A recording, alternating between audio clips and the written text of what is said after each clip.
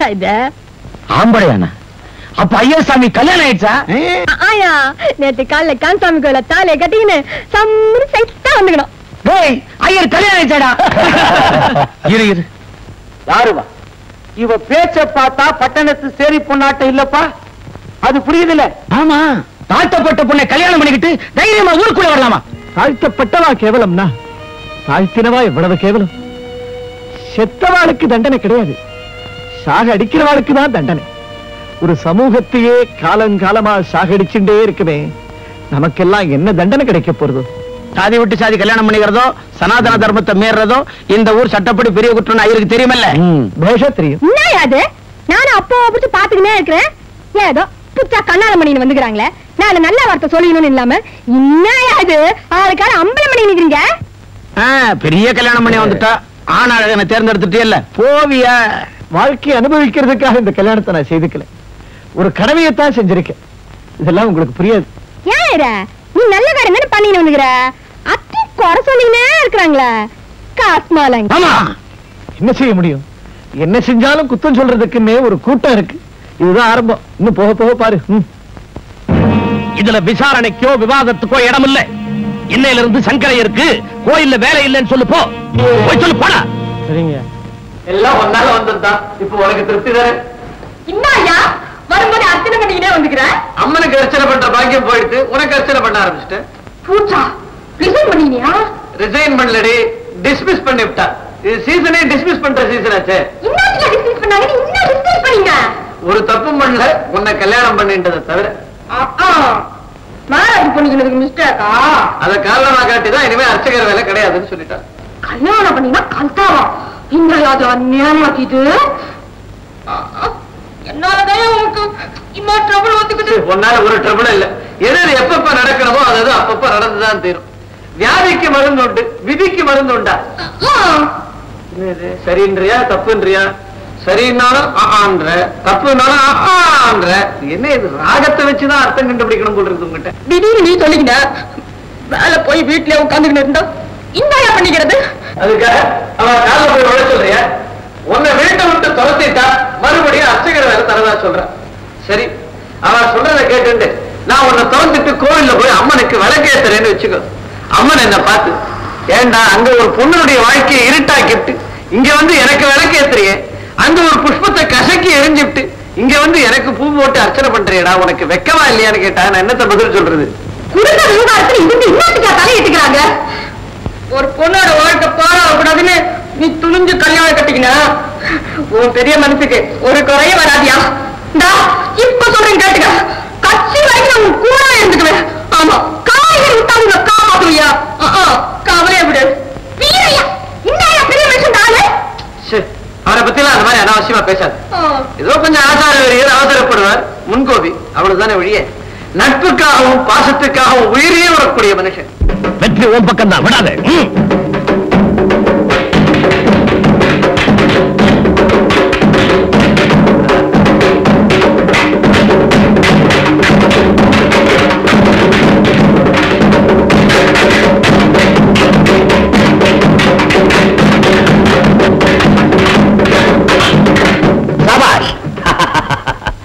இந்த வீரையாவுடைய ஆட்கள் யாரும் சோட போக மாட்டாங்கன்றதை நிரூபிச்சு காட்டிட்டாங்க. சந்தோஷம். ஐயா என்னடா வந்தா? உங்க சங்கரையை பார்க்க வந்திருக்காரு. எதுக்காக? பறிக்கப்பட்ட பூசாரி வேலையை மறுபடியும் கேட்க வந்திருக்கலாம். சந்திக்க முடியாதுன்னு சொல்லு வேலையை பத்தி திரும்ப சிந்திக்க வேண்டாம் சொல்லு. அப்படிலாம் சொல்லாதீங்க. அவர் வெறும் அர்ச்சகர் மட்டும் இல்லை உங்க ஆரோக்கிய நண்பர். நீங்க மறுக்காம போய் பாருங்க. நீங்க இப்படி நடந்துக்குவீங்கன்னு நான் நினைக்கவே இல்லை. நாலு பேருக்கு புத்தி சொல்ல வேண்டிய நீங்களே இப்படி நடக்கலாமா? நான் எந்த தப்பு செய்யவில்லையம்மா கந்தசாமி கோவில் திருவிழாவுக்காக பட்டணம் போயிருந்தேன். அப்ப அங்க திடீர்னு ஒரே பேய் மழை. மழைக்காக நான் ஒதுங்கிற இடம் ஒரு குடிசை. அந்த குடிசையில தான் இந்த பொண்ணு இருந்தா. ராத்திரி பூரா மழை விடல. அங்கேயே தங்கிட்டேன். அடுத்து நான் காத்தால பார்த்தா இந்த பொண்ணை பத்தி காரணமே இல்லாம அந்த சேரியில ஒரே அவதூறா பேச ஆரம்பிச்சுட்டா. என் மனசு தாங்கல. சரி நம்மால ஒரு பொண்ணுடைய வாழ்க்கை பாழா போகக்கூடாதுன்னு நானே ஒரு தீர்மானத்துக்கு வந்து கோவில் சன்னதியிலேயே இந்த பொண்ணை கல்யாணம் பண்ணி அழைச்சிட்டு வந்துட்டேன். தெய்வ சாட்சியா சொல்றேம்மா. நான் ஒரு குத்தமும் செய்யல. அவர் வந்துட்டு இருக்காருங்க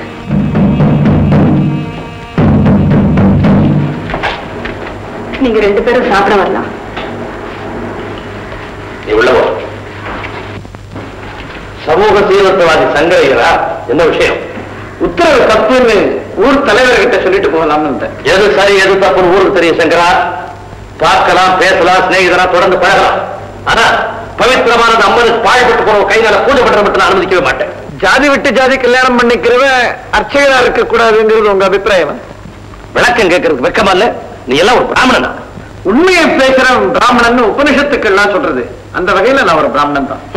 வேதங்களை படிச்சவன் நீ? ஆமா. அதனாலதான் வேதங்களே கிடையாதுன்னு சொல்றேன். கண்ட உடனே ஒரு பெண்ணை கட்டிக்கிறது காமம் இல்ல? இந்த கல்யாணம் நடந்ததற்கு காரணம் காமமும் இல்ல காதலும் இல்ல. ஒரு பெண்ணுடைய வாழ்க்கை பாழா போயிடக்கூடாதுன்ற என்னுடைய நல்ல எண்ணம் தான் காரணம். ச்சே, நீச்சத்தனமான காரியத்தை பண்ணிட்டு அதுக்கு நியாயம் வேற கற்பிக்கிறியா? நான் செஞ்சது நீசத்தனம்னா இதே நீசத்தனத்தை நீ அடிக்கடி சொல்லுவியே நம்ம முன்னோர்கள் அவ கூட செய்திருக்கா. வசிஷ்டர் ஒரு பிராமணர் அவர் மனைவி அருந்ததி ஒரு தாழ்ந்த ஜாதி பொண்ணு. சுக்ராச்சாரியார் ஒரு பிராமணர் தன் பொண்ணை வேற ஒரு ஜாதிக்காரனுக்கு தான் கல்யாணம் பண்ணி வச்சார். சந்தர் மகாராஜா ஒரு மீனவ பொண்ணு கல்யாணம் பண்ணிண்டா அது மகாபாரதம். இந்த சங்கரையர் வேற ஜாதி பொண்ணு கல்யாணம் பண்ணிண்டா அது மாபாதகம் இல்லையா? நீ ஆயிரம் நியாயம் சொன்னாலும் சரி அந்த அர்ச்சகர் பதவி உனக்கு திரும்ப கிடைக்காது. அந்த அர்ச்சகர் பதவிக்கு மனு போடுறதுக்காக நான் இங்க வரல. தனக்கு தெரிஞ்ச உண்மைகளை சொல்லிட்டு போகலாம் சங்கரையர் இங்க வந்தா வரேன்.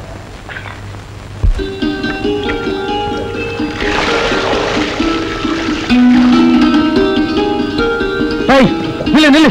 அனியா அக்கறம் ஏமுள்ள பெரிய செம்பதானே நீ. ஆமாங்க. கிராமத்து குளத்துல தாழ்த்தப்பட்டவங்க தண்ணி எடுக்க கூடாதுங்கிற கட்டுப்பாடு இருக்கிறது தெரியுமில்ல உனக்கு? ஆமா. மாரியாத்தாளுக்கு வேண்டுதல் நிறைவேற்றணும். சேரி குளத்துல தண்ணி இல்ல. அதனால இங்க வந்து தண்ணி எடுத்தேன். எவ்வளவு பெரிய மனுஷன் கேட்கிறேனா கொஞ்சம் கூட மரியாதை நம்ம போயிட்டு இருக்காராவா? முதல்ல துண்ட தோல்ல போடுங்கண்ணே. அப்பதான் பெரிய மனுஷன் ஆக முடியும்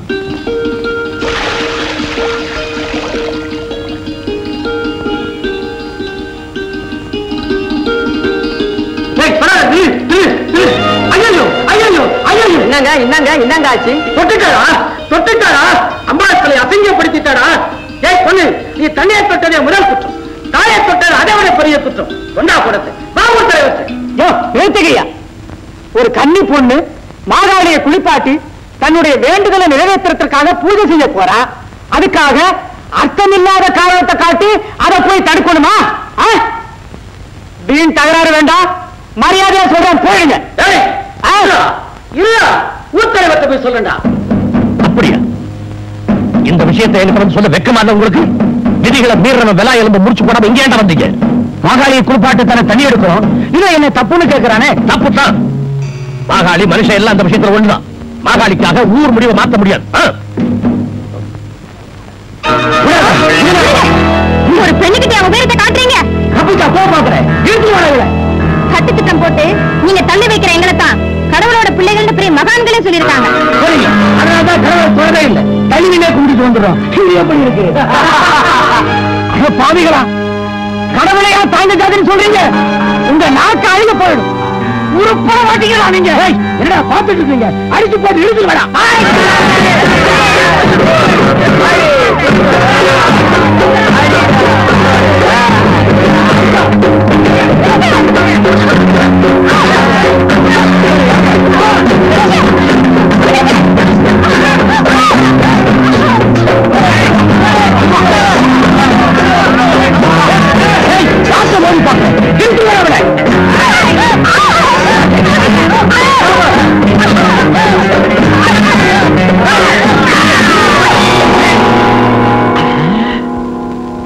யாரா அவன்? யாரா? ஏழை எளியவங்க. தாழ்த்தப்பட்டவங்க நல்வாழ்வுக்காக ஏந்திரம் போல உழைக்கிற எங்க வீட்டு பிள்ளை? அநியாயம் அக்கிரமம் எங்க நடந்தாலும் அதை செய்யறவங்க எவ்வளவு பெரியவங்களா இருந்தாலும் அவைகளை எல்லாம் எதிர்த்து நிற்கிற அஞ்சா நெஞ்சமுடைய ஆயிரத்துல ஒருவன். அப்படியா?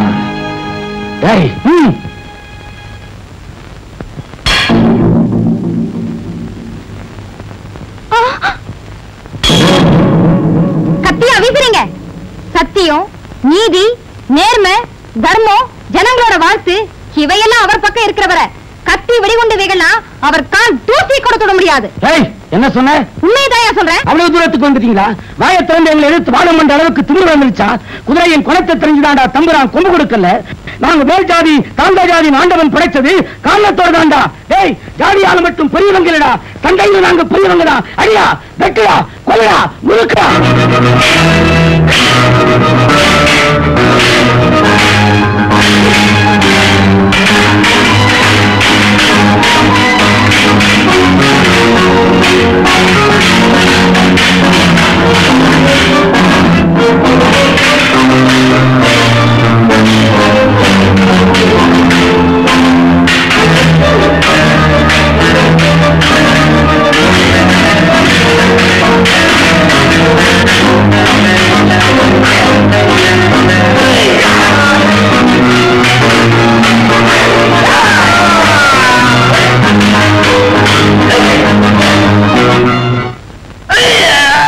பத்து மாதம்தான் அத்தனை பேரும் கடைசியிலே என்ன பேரமடா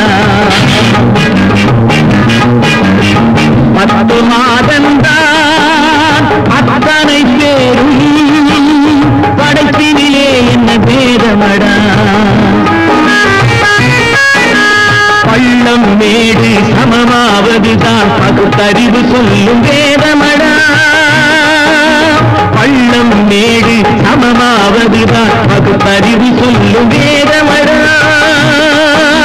பகுத்தறிவு சொல்லும் வேதமடா.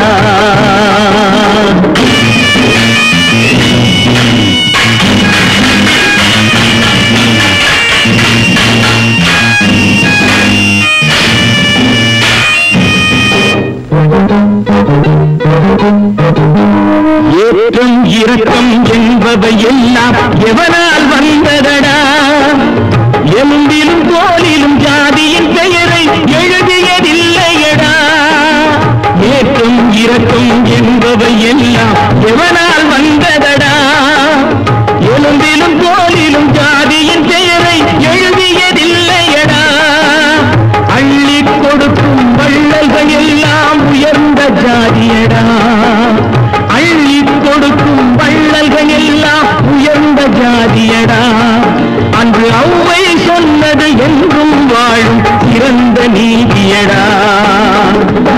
பத்து மாதம்தான் அத்தனை பேரும் படைப்பிரியே என்ன பேரமடா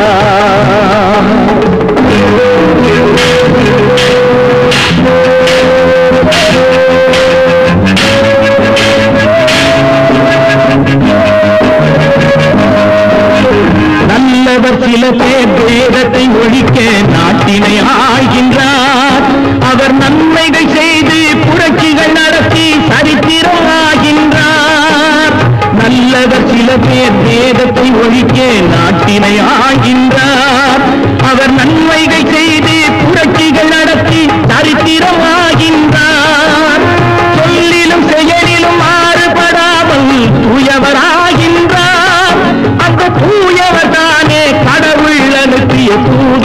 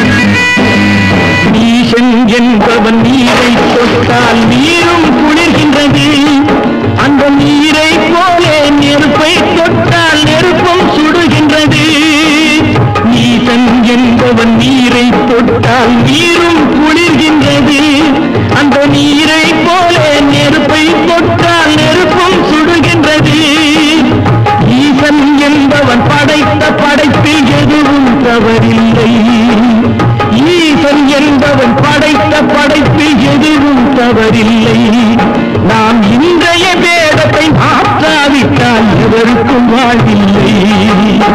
பத்து மாதந்தா அத்தனை பேரும் படைப்பினிலே என்ன பேரமடா பள்ளம் மேடு சமமாவதுதான். பகுத்தறிவு சொல்லும் வேதமடா.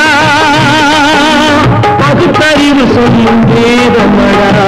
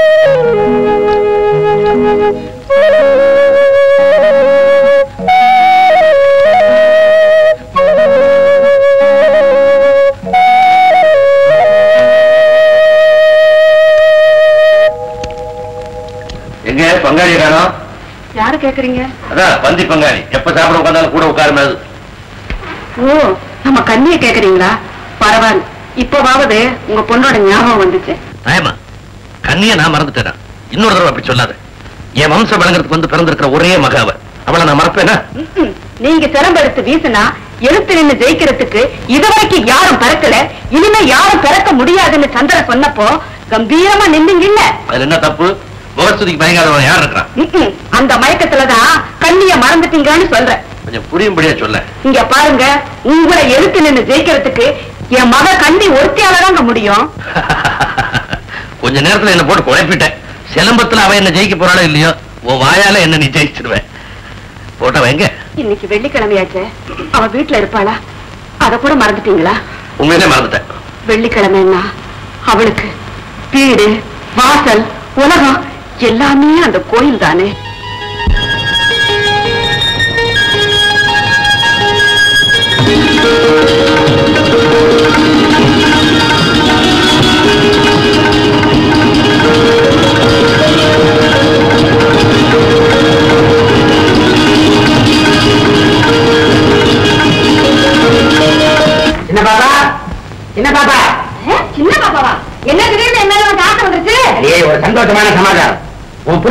ப்ரமோஷன் கிடைக்க போகுது.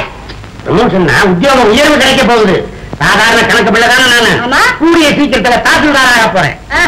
கணக்கு பிள்ளை நீ? தாசில்தாராக போறியா? இதை நான் நம்பணுமா? என்னடி? பார்க்க கூடாதவங்களை எல்லாம் பார்த்து படாத பாடுபட்டு சட்டத்திலே திருத்தலுக்கு ஏற்பாடு பண்ணியிருக்கேன்டி. ஆமா நாளைக்கு நம்ம ஊருக்கு கலெக்டர் வர போறாரா? இந்த அர்த்தநாரி விஷயமா நீங்க ஒரு மாதிரியா நடந்துக்கிட்டா இவனும் ஒரு பய பெட்டிஷன் கொடுத்தான். நாளைக்கு உங்க மேல பகிரங்க விசாரணை. என்னமோ பெரிய உத்தியோகம் பார்க்க போறேன் சொல்ற?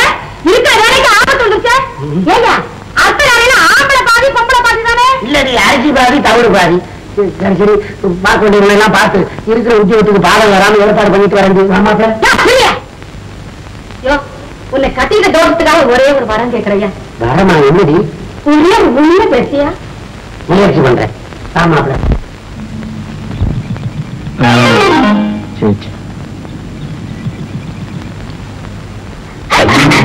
அறிவில்ல ஏன் கால் வர கணக்கு தெரியல?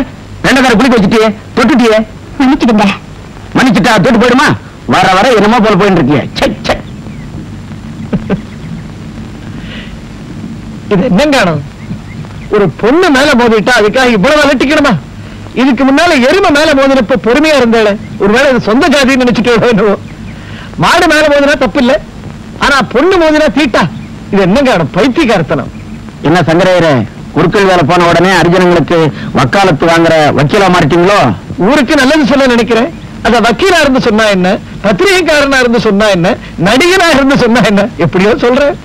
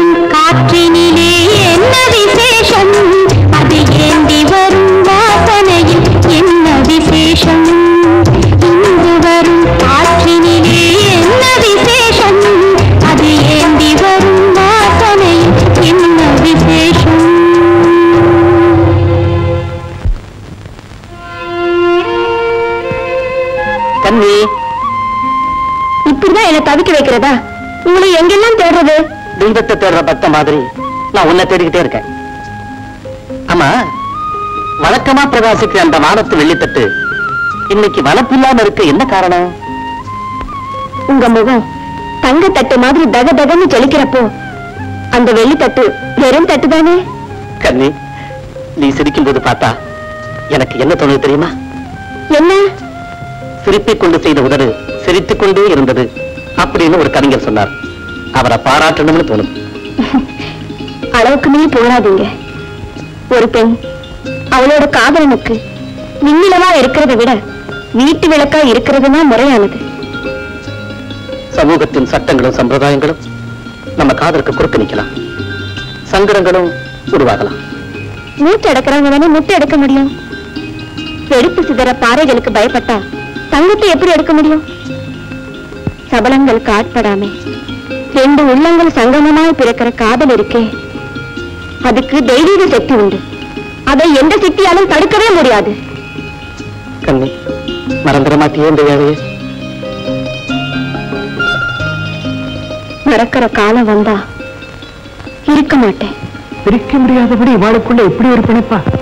கடவுளே நிறைய ஆச்சார புருஷனாச்சு. அவனோட விளையாடி பார்க்கணுங்கிறது தான் உன்னுடைய விருப்பமா? அவனுக்கு புத்தி புகட்டுறதுக்காக நீ நடத்துற இந்த நாடகத்தினுடைய முடிவு சுலமா இருக்கணுங்கிறது தான் என்னுடைய ஆசை. உன்னுடைய விருப்பம் தானே விதி. நல்லதே நடக்கட்டும்.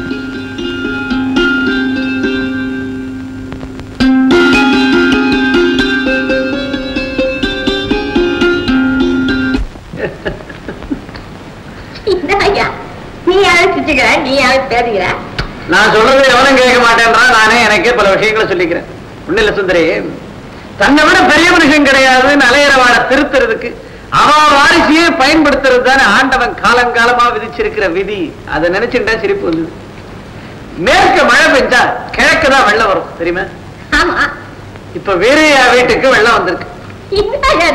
கண்ணு மூக்கு இல்லாம கதை சொல்லி நிக்கிற அங்க எப்படியா வெள்ளம் வந்துச்சு? காட்டாத்து வெள்ளம் கரையை கண்டுதா மரத்தை கண்டுதா? காதலும் அப்படிதான் போல் இருக்கு. வெள்ளம் காதலு. இல்ல இன்னும் அவர் ஆரம்பிக்கல.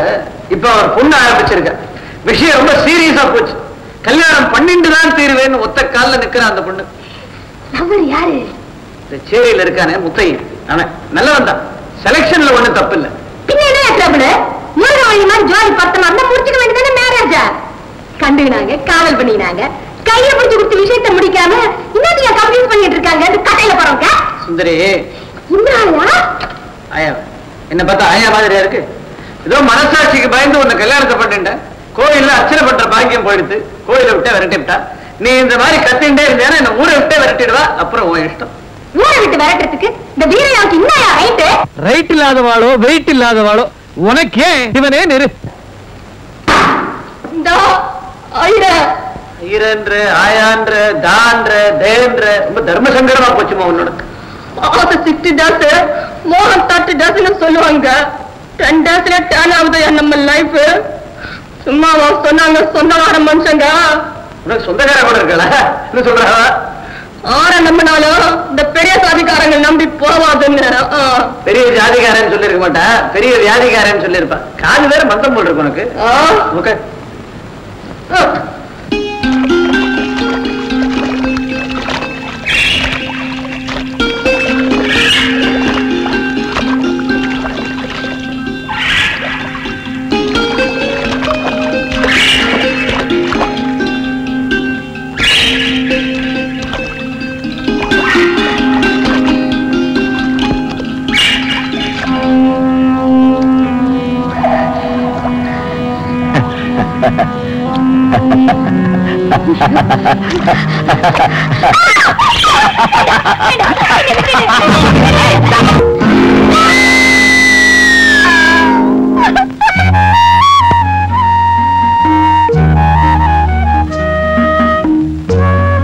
கண்ணி நீ இருந்தா எனக்கு நேரம் போறதே தெரியல.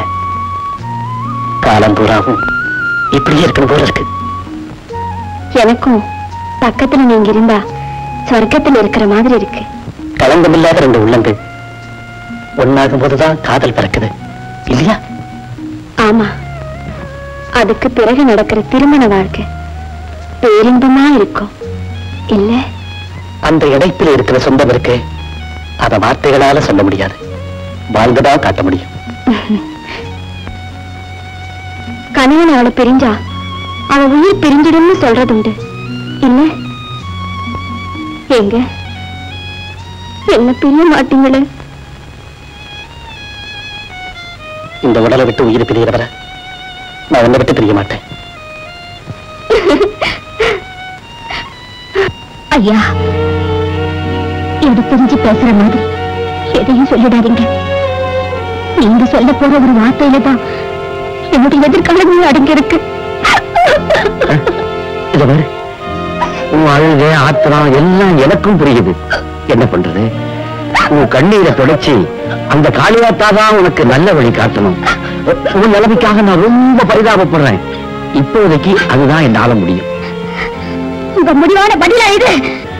முடிவே இதுதான். உங்க மக ஊர்ல இருக்கிற ஏழை பொண்ணுங்களை கெடுக்கணும் அவங்க கண்ணீரை காலியாத்த தொடக்கணுமா? நானும் படிச்சவதான். போறேன். பஞ்சாயத்தார பாக்குறேன் உங்க மக என் வாழ்க்கையை பாழாக்கிற கதையை சொல்றேன் இதுக்கு பரிகாரம் காலமா நான் தூக்க மாட்டேன். பஞ்சாயத்துல சொன்ன என்ன நடக்க தெரியுமா? நெறி கெட்ட பொண்ணுன்னு உன்னையும் நெருப்புல வச்சு கொளுத்துவாங்க. அப்புறம் நீ நெருப்பு கட்டிட்டு தான் ஆளுவணும் உன் தலை எடுத்து அப்படி இருந்தா நான் என்ன பண்ண முடியும்? போய் அந்த சுகத்தை அனுபவிச்சு பாரு. போ.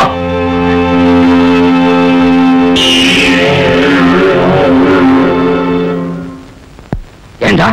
உனக்கே இது நியாயமா?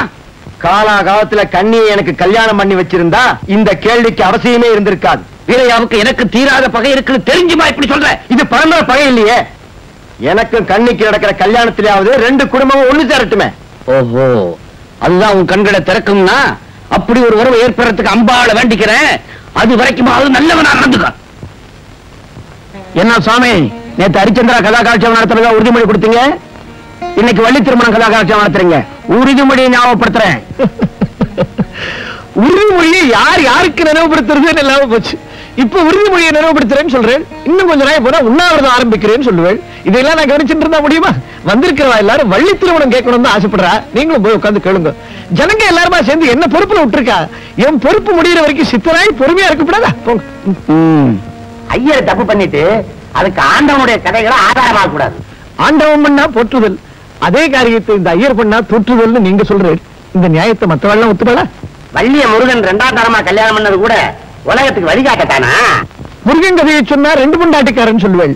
ஐயப்பன் கதையை சொன்னா அப்பா அம்மா யாருன்னு கேட்பேள். ராமர் கதையை சொன்னா அவர் ஏன் வாலிய பின்னால இருந்து அடிச்சாருன்னு கேட்பேள். எதுலயுமே நமக்கு பிடிபடாத தத்துவங்கிறதா பிடிச்சுட்டு அலையணுமா? நமக்கு புரியுற எவ்வளவோ நல்ல விஷயங்கள் இருக்கே அதையெல்லாம் கவனிக்கப்படாதா? நீர் இந்த மாதிரி இங்க நாலு பேர் நடுவுல கேட்கறது எனக்கு தெரியும். பழனி மலைக்கு ரகசியமா காவடி எடுக்கிறீங்களே அதுவும் எனக்கு தெரியும். சபையில அதெல்லாம் பேசி வைக்காதே. இது சம்பந்தமா ராமானுஜர் சரித்திரத்திலிருந்து ஒரு சம்பவம் சொல்றேன் கேளுங்க ஒரு முறை ராமானுஜனும் அவருடைய சிஷியர்களும் தெருவில் கால்நடையா போயிட்டு இருந்தா எதிர ஒரு ஹரிஜன பொண்ணு வந்துட்டா உடனே ராமானுஜனுடைய சிஷியர்கள்லாம் அந்த பொண்ணை பார்த்து ஒதுங்கி விலகி வழிபட சொன்னா ஏன்னா ஹரிஜன் பாருங்க வீட்டு மேல விட்டுறக்கூடாது இல்லையா? அதுக்காக. அந்த ஹரிஜன பொண்ணு சொன்னா ஒதுங்கிற சரி எந்த பக்கம் ஒதுங்க சொல்றேன். இந்த பக்கம் ஒதுங்கிறா வெங்கடேச பெருமாள் கோவில் இந்த பக்கம் ஒதுங்கிறா ரங்கநாத பெருமாள் கோவில். உலகளந்த பெருமாள் திசையெங்கும் வியாபிச்சிருக்கானே நான் ஒதுங்கிற பக்கம் கடவுள் இருந்து அவன் மேல என் தீட்டு பற்றப்படாதே. கடவுள் இல்லாத பக்கம் எதுன்னு சொல்லு அந்த பக்கம் நான் ஒதுங்குறேன் உடனே ராமானுஜர் சாஷ்டாங்கமா அவ காலில் விழுந்து நமஸ்காரம் பண்ணி தன் சிஷியர்கள் செஞ்ச தப்புக்காக மன்னிப்பு கேட்டுட்டார். இப்படி எத்தனையோ சம்பவங்கள் சரித்திரங்கள் நிகழ்ச்சிகள் நம்ம புராண கதைகள்ல எவ்வளவோ இருக்கு. இதெல்லாம் தெரிஞ்சப்புறமும் ஜாதி ஜாதின்னு பேசுறது அசல் பைத்தியக்காரத்தனம் இல்லையா? உட்கார நீ தானே பேச்ச கேளு. ஆளு நீயும் கணக்கு பிள்ளை நீ சொல்றதுலாம் உண்மையா? சங்கரையரா ஜாதி இல்ல மதம் இல்லைன்னு சொல்லிட்டு இருந்தாரு? ஆமா ஆமா. அவர் பேர் தான் பள்ளி திருமண கலா காலட்சேபம் அச்சர சுத்தமா ஜாதி இல்ல பேதம் இல்ல ஒரே ஜாதின்னு சொன்னாரு. அதை கேட்டதுல இருந்து எனக்கே ஒரு மாதிரி ஆகி மூணாந்தாரமா ஒருத்தைய கல்யாணம் பண்ணிக்கலாமான்னு ஆசையே வந்துருச்சு. கைய கால முடிச்சு போடுவேன். ஐயரை கூட்டு வர சொல்லி ஆனந்த்.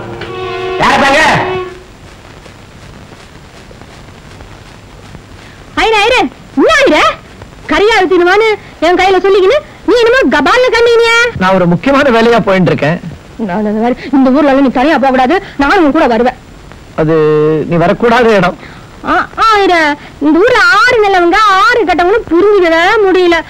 ஆனாலும் பாரு நானும் உன் கூட வருவேன். உம், வீட்டுக்குள்ளதானே வரக்கூடாது. நான் வெளியில நின்னுக்கிறேன். வராயிர வராயிர. சரி வா. மணி கூட கொண்டு வீட்டுல வை. நான் அப்பால எடுத்துக்கிறேன் என்ன என்ன கூப்பிட்டு நிச்சயமே ரமையா சொன்னான். சங்கரா பள்ளி திருமண கதா காலட்சேபத்து பேரால கலப்பு கல்யாண பிரச்சாரமா பண்றேன் தலைய சீவப்புருவ ஜாகிரதை. என்னய்யா? மிரட்டுறாரு? தலையை சீடு வராம காலட்சேபத்துல என்னையா தப்பு? கேளியா கேளியா? சுந்தரி கொஞ்ச நாள் பேசாம. அவ யாரு தெரியுமா?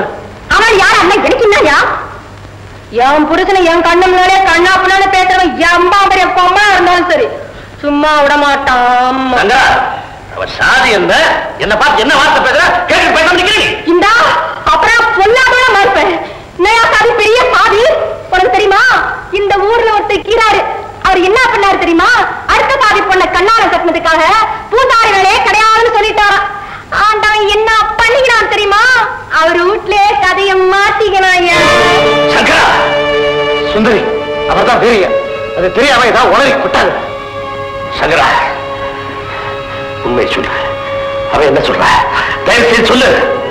சங்கரா நமக்குள்ள ஆயிரம் கருத்து வேறுபாடு இருக்கலாம் ஆனா என்னுடைய உண்மையான சிநேகிதன் நீ என்ன சொல்றா? என்னத்துக்கு தயங்குற? சும்மா தைரியமா சொல்லியா? சரி அம்பாள் மேல பாரத்தை போட்டுட்டு எனக்கு தெரிஞ்சதை சொல்லிடு.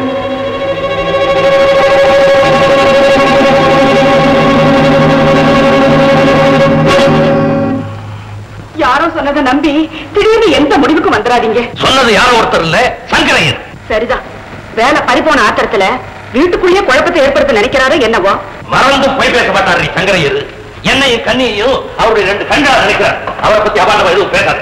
ஏங்க யாரோ ஒருத்தர் குணத்துக்கு இவ்வளவு உத்தரவாதம் கொடுக்கிற நீங்க? பெத்த மக விஷயத்துல மாத்திரம் ஏன் இப்படி பாரபட்சம் காட்டுறீங்க?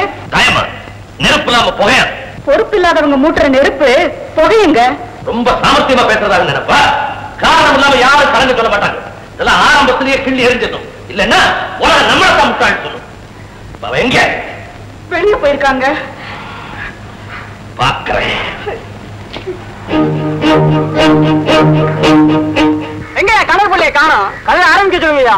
மகாஜனங்களே பக்த கேடிகளே இல்ல இல்ல பக்த கோடிகளே நீங்க எல்லாம் பொறுக்கணும் யாரையா பொறுக்க சொல்ற? பொறுக்கியத்துல சொல்ல பொறுமையா இருக்கணும். இதோ வருகிறார் வருகிறார் மகாஜனம் வருக, வாழ்க வாழ்க வாழ்க வாழ்க வாழ்க வாழ்க வாழ்க நேரம் போயிடும் கதை ஆரம்பிப்போம் கதைப்போம் மகாஜனங்களே மகாஜனங்களே இன்னைக்கு நமக்கு ஒரு புண்ணிய நாள் மதிப்புக்கும் மரியாதைக்கும் அன்புக்கும் ஆசைக்கும் பண்புக்கும் பாத்திரமான மகா மகா மகா மகா ராஜஸ்ரீ வந்திருக்காங்களா? சும்மா ராஜஸ்ரீ மாமா ஹரிச்சந்திரன் அவர்கள். ஓ, ஓ, ஓ, என்னய்யா உனக்கும் மாமாவா மீச காலத்தை ஓட்டாத கதைய ஆரம்பிக்க சொல்லியா? உங்க அளவு கடந்த ஆர்வம் புரியுது.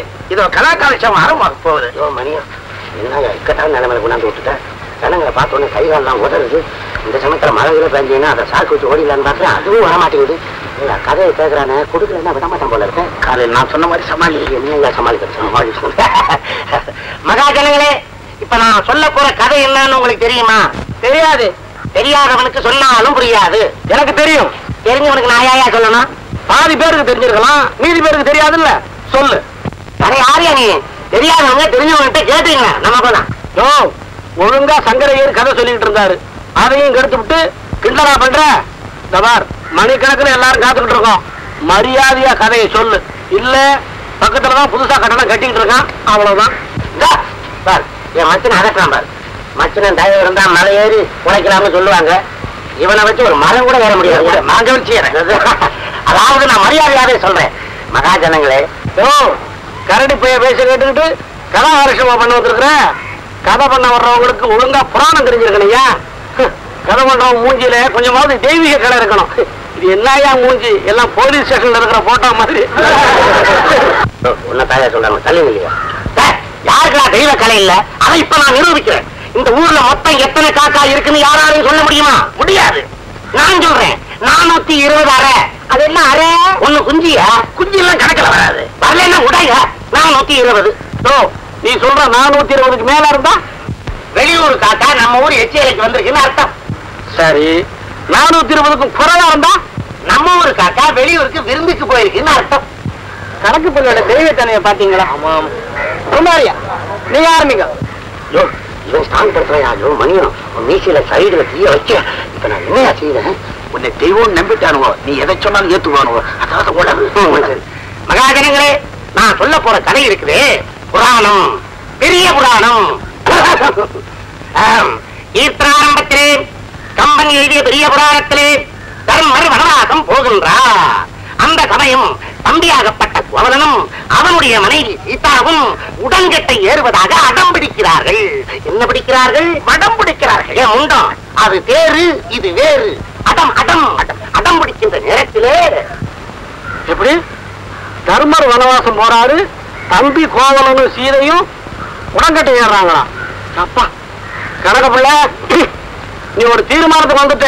இந்த ஊர்ல இருக்கிற பாதி பேத்துக்காவது பைத்தியம் பிடிக்கணும். அப்படின்னே கலாகாரியம் முடியாதா நம்பி நீ பிஞ்சு. உனக்கு சொன்னாலும் புரியாது. நீ ஓரகட்டு ஓரகட்டு நீங்க கதை சொல்லுங்க. சொல்றேன். தர்மர் வனவாசம் சென்ற செய்தி கேட்ட அவருடைய மனைவி சகுந்தலை தடால் என்று மயங்கி தடாகத்தில் விழுந்தாள். அந்த சமயத்தில் தான் அந்த பயங்கரமான செய்தி வந்தது. எந்த பயங்கரமான செய்தி? அந்த பயங்கரமான செய்தி. அதேதான். வனவாசம் சென்றிருந்த தர்மர் பாத்ரூமுக்கு போயிருந்தார். அப்ப மயக்க மருந்த கொடுத்து அவரை தூக்குல தொங்க விட்டுட்டான் தென்கொரிய அரசனான சூரபத்மன். காட்டுக்குள்ள பாத்ரூம் ஏரியா கரடி மீச கட்டியிருப்பான். அவர் கையில தட்டி வச்சிருந்தாரு சுத்தி கட்டிக்கிட்டாரு.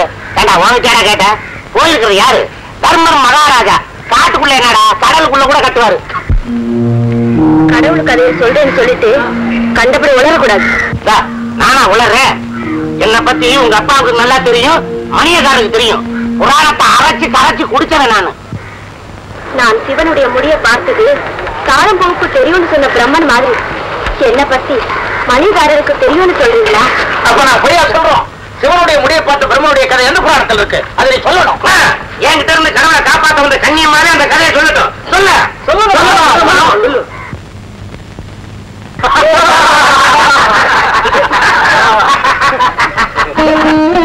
ब्रह्मावे हंसो भूत्वा श्रेयं वेष्टव्य सहसं समा आसन् ब्रह्म अहं सोसाने त्वमेव मातासि त्वमेव पितासि कर्तासि कार्यदासि एवं वेदशिव सायुज्य माप्नोति கேட்டீங்களா இது யாருக்காவது புரியுதா இந்த மாதிரி உணர்றதுக்கு என்ன தெரியாதா தெரியாதா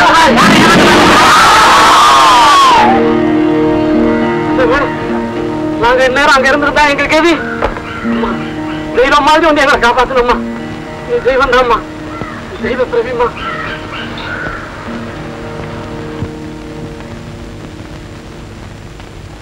கண்ணி உனக்காக கோயில்ல அவர் எவ்வளவு நேரமா காத்துட்டு இருக்காரு சீக்கிரம்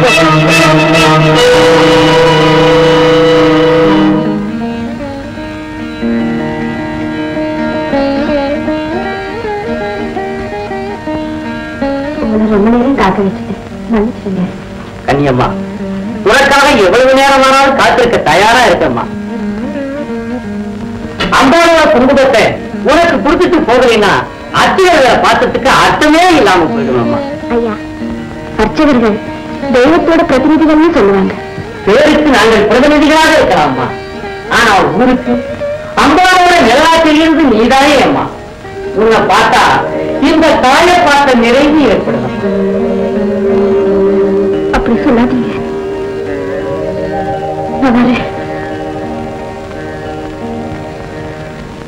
இங்க பாருங்க. எதுலயும் ஒரு நம்பிக்கை இருக்கணுங்க. வாய் புளிச்சுதா மாங்காய் புளிச்சுதான்னு தெரியாம வர வதந்திகளை எல்லாம் நம்பி வானத்துக்கும் பூமிக்குமா எதிரி குதிச்சீங்களே இப்ப என்ன சொல்றீங்க? வதந்தி இதெல்லாம் ஆரம்பத்திலே காலை முடிச்சு போட்டணும் இல்லைன்னா விஸ்வரூபம் எடுத்து நம்ம வாழ்க்கையை விளையாட ஆரம்பிச்சிடும் நீங்க மகன் மேல அளவுக்கு மீறி அன்பும் பாசம் வச்சிருக்கிறீங்க. அதனால தான் அவன் மேல ஒரு சின்ன தவறான செய்தி கேள்விப்பட்டாலும் நீங்க துடிச்சு போறீங்க. இல்லையா? மகமேல மட்டும்தானா? அவன் பேர்ல நான் அளவு கிடந்த பாசம் வச்சிருக்கிறது காரணமே கண்ணி ஓ மகன் இருந்தாலும். ஒன்னே ஒண்ணு கண்ணே கண்ணு இருக்கிற ஒரு பொண்ணு. அவளை பத்தி ஊர்ல நாலு பேர் நாலு பேர் பேச விடலாம்? கண்ணியை பொறுத்த வரையிலங்க உறவான அவள் எனக்கு மகளா இருந்தாலும் உணர்வால அவள் எனக்கு தாயா இருக்கிறா ஏதோ ஒரு சக்தி என்ன அறியாமலேயே அவகிட்ட என்ன அடிமையாக்கிடுச்சுங்க. காக்கைக்கு தான் கொஞ்சம் பொன் கொஞ்சம் சொல்லுவாங்க. நீ அதுக்கு மேல ஒரு படி போய் அவள் தெய்வீக முத்திரையை குத்திரவு போட்டுருக்க அவ வந்துட போறாங்க. என்னப்பா? என்னமோ பேசிக்கிட்டு இருந்தீங்க? ஏன் திடீர்னு நிறுத்திட்டீங்க? அறுவடை நேரம் வந்துருச்சு இல்லையா? அதான் விவசாயத்தை பத்தி பேசிட்டு இருந்தோம். நல்ல விளைச்சல்னு சொல்றாங்கப்பா. கவலைக்கு காரணமே அதுதாம்மா விளைஞ்ச பயிரை பூச்சி தாக்காம அறுவடை பண்ணி வீட்டுக்கு கொண்டாந்து சேர்க்கிற வரைக்கும் நிம்மதியே இருக்காது. கதிர் வச்ச நிலமும் கன்னி பொண்ணு ஒண்ணுன்னு சொல்லுவாங்க. அதைத்தான் பேசிக்கிட்டு இருந்தோம். நான் போய் மணியக்காரனை பார்த்து வந்துடுறேன். அப்பா! என்னம்மா? நாளைக்கு கோவில திருவிழா. கேட்டதெல்லாம் கொடுக்குற அந்த மகமாயிக்கிட்ட இந்த குடும்பத்து பெருமையை ஒசத்துற மாதிரி உனக்கு ஒரு எதிர்காலத்தை கொடுக்க சொல்லி வேண்டிக்கம்மா? வரேன்.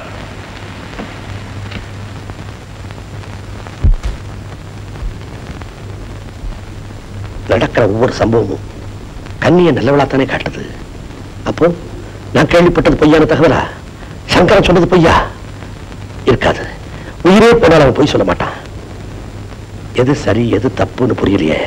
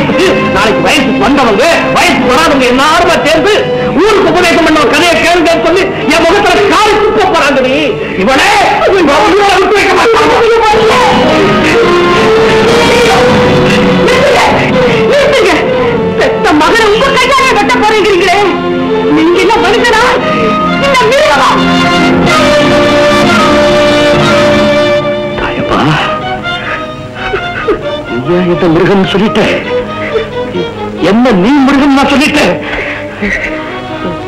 பரம்பரை பரம்பரையா கட்டி காத்து வந்த நம்ம குல பெருமைய குழி தோண்டி பொழைச்சிட்டாவே அவளை திருத்த வேண்டிய நீ என்ன மிருகம் சொல்லிட்ட? இந்த கையால் அவளை வெட்ட போறது தானே என்ன மிருகம் சொல்லு இந்த கையால் அவளை வெட்ட போறது மிருகம் சொல்லு ஐயா! டாக்டர்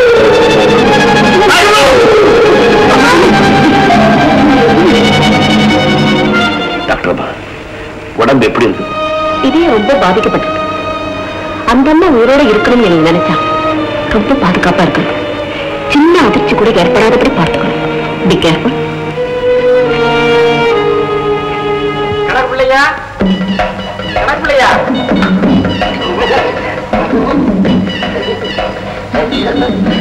யாருமா நீ? கணப்பிள்ளையா இல்லைங்களா?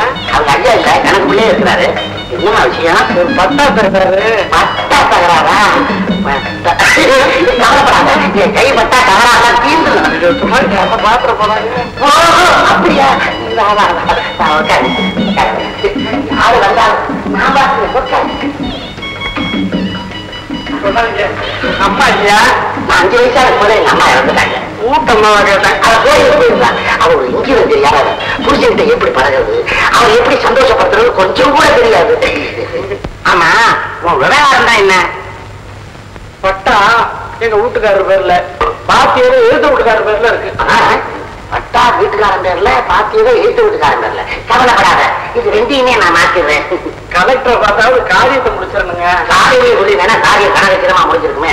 கலெக்டர் இப்பதானே இருந்து போறாரு? ஊருக்குள்ள காரு ஜீப்பு ஒண்ணும் வரல போகலீங்களே? அது ஊர் எல்லையிலேயே காரை நிறுத்திட்டு நடந்துதான் கலெக்டர் என்ன பார்க்க ஏய், நானும் அவன் ஒன்னா படிச்சவங்களாச்சே எனக்கு கொடுக்க வேண்டிய மரியாதையை அவர் கொடுத்துருவாரு தொடாதீங்க. நீங்க மேல் ஜாதி நான் கீழ் ஜாதி. இந்த மாதிரி பொம்பளைங்க விஷயத்துல மேல் ஜாதி கீழ் ஜாதி நான் பார்க்கறது இல்ல. ஆனா கன்னி மாவட்டத்தை மட்டும் பாக்கலையா அதை விட அது பெரிய இடத்துல புருஷன்கிட்ட அம்மா வீட்டுக்கு போறேன் போய் சொல்லிட்டு வா. ஒரு வாரம் குத்தாரத்தோட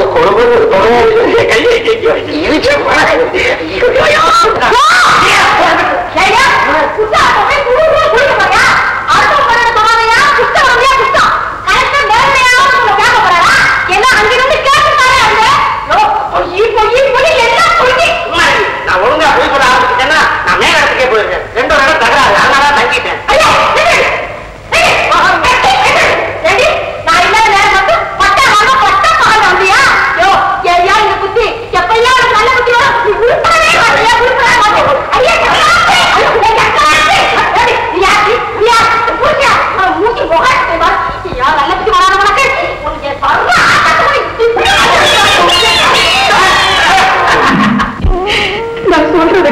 தெரியுமா? மான உங்க அப்பாவை நீங்க பார்த்துக்கவே முடியாதும்மா. அம்மா அவர்தாம்மா எனக்கு தெய்வம். அவர் முன்னாடி நின்று கூட நான் பேசினதே இல்லை. என் பொண்ணு எந்த தவறுமே செய்ய மாட்டாங்கிற நம்பிக்கையில அவர் முன்னாடி நின்று எதிர்த்து பேசுறம்மா ஏதாவது தவறு நடந்துருமோன்னு நான் துடிச்சு போயிட்டம்மா. கண்ணி இங்க பாரு. உங்களுக்கு இருக்கிற கரங்கத்தை எடுத்து எடுத்துருமா நீ அவனை மறந்துடுமா மறந்துடு. எல்லாமே மறந்து போயிடுமா நம்ம குடும்பம் நல்லா இருக்குமா நான் சொல்றதை கேளுமா முடியாதும்மா. முடியாது. முடியாது. முடியாது. என்ன மன்னிச்சிருங்க. நான் உன்னை மன்னிக்க மாட்டேன்.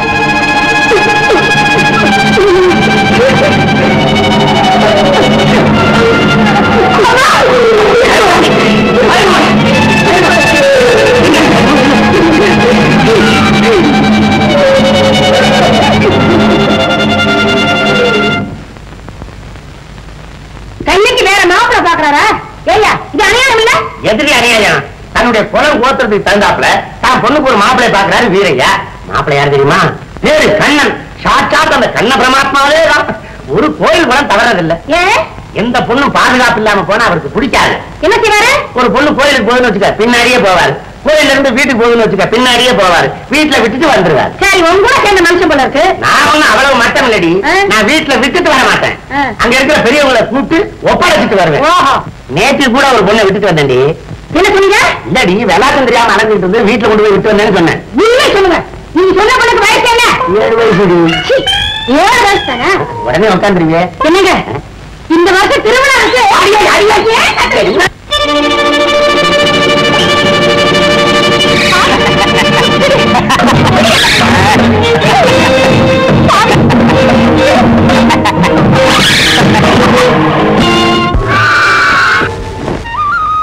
ரோஷத்தால பிரிஞ்ச நம்ம குடும்பம்.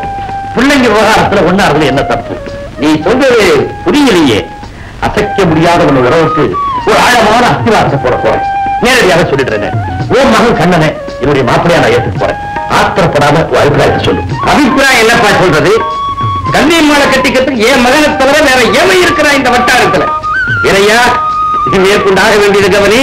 அடுத்த முகூர்த்தத்திலே கல்யாணத்தை வச்சுக்குவோம். அதான் நேற்று நடந்ததை வச்சு எந்த முடிவுக்கும் வந்துடாது அத ஒரு கெட்ட கனவா நினைச்சு மறந்து அந்த சம்பவத்தை வாழ்நாள்ல மறக்க முடியாதுங்க. நான் மிருகத்தனமா நடந்துகிட்டேன். இல்ல? ம்? அப்படியெல்லாம் ஒண்ணு இல்லைங்க. ராதா நான் உன்னை மனப்பூர்வமா விரும்புறேன். உனக்காக நான் எதையும் செய்ய தயாரா இருக்கேன். நீ எதை கேட்டாலும் தரேன். எனக்கு வேண்டியதெல்லாம் நீங்க. உங்க மனைவிங்கிற விடுங்க ராதா ம்? ஏன் உண்மை ஆயிட்டேன் ஏதாவது பேசு?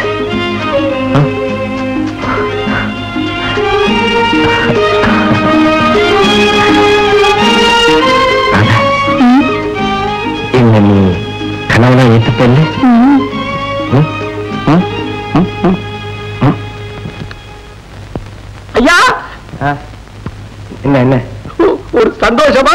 செய்தி கொண்டாந்துருக்கேன் காலை கொண்டாங்க எப்படி?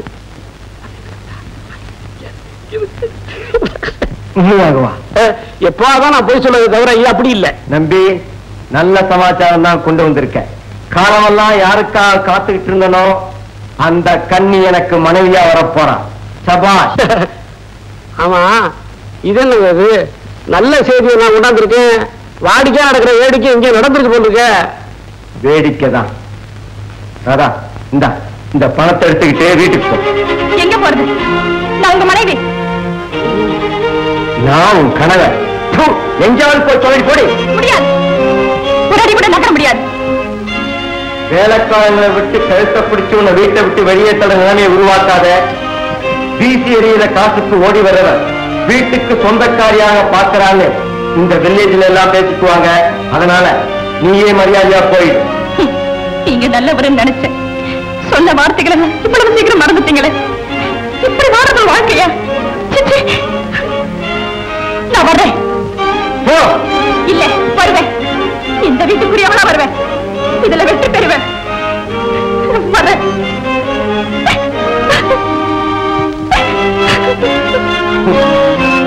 சபதம் போடுறா பைத்தியக்காரி. எமன்கிட்டயே சபதம் போட்டு ஜெயிச்சிருக்காங்க ஒரு பொண்ணு. ஏண்டா நம்பி? நீ எவனை பார்த்திருக்கியா? உங்களை பாக்குறேன்னு எமனை பார்த்த மாதிரி தான் ஆனா அடிச்சு வளர்க்கணும் பொண்ணை போட்டி வளர்க்கணும் சொல்லுகிறாங்க. இந்த வீரையா என்னடான்னா பொண்ணை புண்ணாக்கினே வராரு ஐயா நினைச்சாலே மனசுக்கு ரொம்ப கஷ்டமா கிட்டியா காத்துக்கு கடிவாளம் கட்ட நினைக்கிறாரு அவர். அது முடியாதுன்னு இன்னைக்கு இல்லாட்டாலும் என்னைக்காவது ஒரு நாள் தெரிஞ்சுக்கத்தான் போற பொண்ணு உனக்கு கேளுங்க. சொல்லிடுறியா கேள. யாருமே என்கிட்ட எதுவுமே கேட்க மாட்டேங்கிறாளே தான் நான் வருத்தப்பட்டு இருக்கேன். நீ எதுவும் கேளு. அவனே அணுவ ஆசையான்னு சொல்லுகிறாங்கல்ல. அது ஃபேக்டா இல்லையா? ஏன் இதுல என்ன உனக்கு சந்தேகம்? அப்போ ஆன பொண்ணு லவ் பண்றதும் ஆசைப்படுறதும் அண்ணா அவன் அரேஞ்ச்மெண்ட் தானையா? அப்படிதான் வச்சுக்கே பின்ன இல்லாட்டி மகளை அடிக்கிற மனசு துடிக்கணும் அட்ரஸ் தெரிஞ்சுக்கிட்டு அந்த ஆளை போய் அட்டாக் பண்ண வேண்டியதானே இருக்காங்க. அந்த ஆள் அட்ரஸ் அவ்வளவு சுலபத்துல யாருக்கும் கிடைக்கிறது இல்லையே. அப்படி கிடைக்கிற சமயத்துல அவன்கிட்டயே போய் சேர்ந்துடுறா திரும்பி வரதில்லை உனக்கு ஏன் இதெல்லாம்?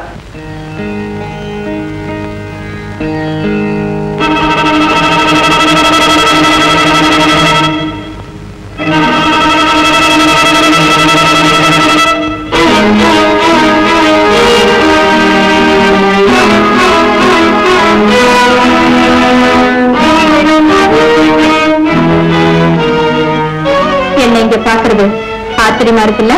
அதிசயமாவே உன்ன மாதிரி ஆட்கள்லாம் வரக்கூடிய இடமே இது நான் கேட்க வேண்டிய கேள்வி. எவ்வளவு நாளைக்கு? எரிமலை என்னைக்காவது ஒரு நாள் வெடிச்சுதான் தீரும். தாத்தா போடி. போறேன். ஒண்ணு மட்டும் மறந்துடாதீங்க. அடிபட்ட புலி கெடுக்கப்பட்ட பொண்ணு ரெண்டு ஒண்ணு. நான் உங்களை பழிவாங்காம விட மாட்டேன்.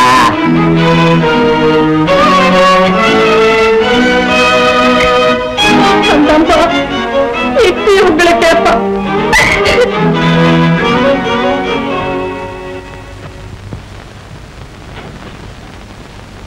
புசாரி அம்பாளுக்கு தான் ஆயிரம் வேலை இருக்குமே. இவன் சொல்றது இல்லாம கேட்க போறான். அப்படி சொல்லாதீங்க தம்பி. ஆயிரம் கல்லுடையதா ஆகும் பாதிக்கப்பட்டவர்களுக்காக வாதாடுவா. பாவம் செய்யறவங்களை கண்டிப்பா. அது போட்டு தம்பி பிரசாரம் இருக்குங்க கண்ணி எங்க இன்னும் காணோம்? ஆ?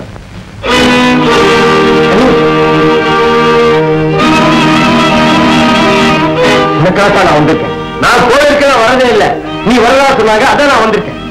ராதா சௌக்கியமா? எந்த ராதா? இந்த கண்ணனோட ராதாவை தான் சொல்றேன். அவ எல்லா தெய்வமும் என்கிட்ட சொல்லியிருக்க. அவனை குடிக்க விடாதீங்க. கெட்டவாவம் அந்த தப்பையெல்லாம் பண்ணிட்டு பை அவன் மேல போடாதீங்க. அவருக்கு வாழ்வு கொடுங்க. அழகான கனி நீ இருக்கும்போது அழுகி போன அந்த பழமா எனக்கு தேவை. நீதான் எனக்கு தேவை நான் தான் உனக்கு கல்யாணம் செஞ்சுக்க போறவன். கனவு காணாதீங்க. இந்த கண்ணை நினைச்சதை முடிச்சே தீருவான். அப்பாவே பொண்ணுகளை பொறுத்தவரை ஹம்.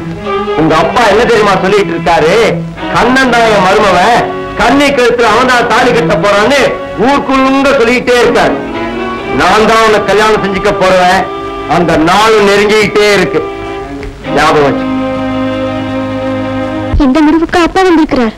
என் இதயம் விரும்புற ஒருத்தரை காதலிக்கிறதுல என்ன தவறு?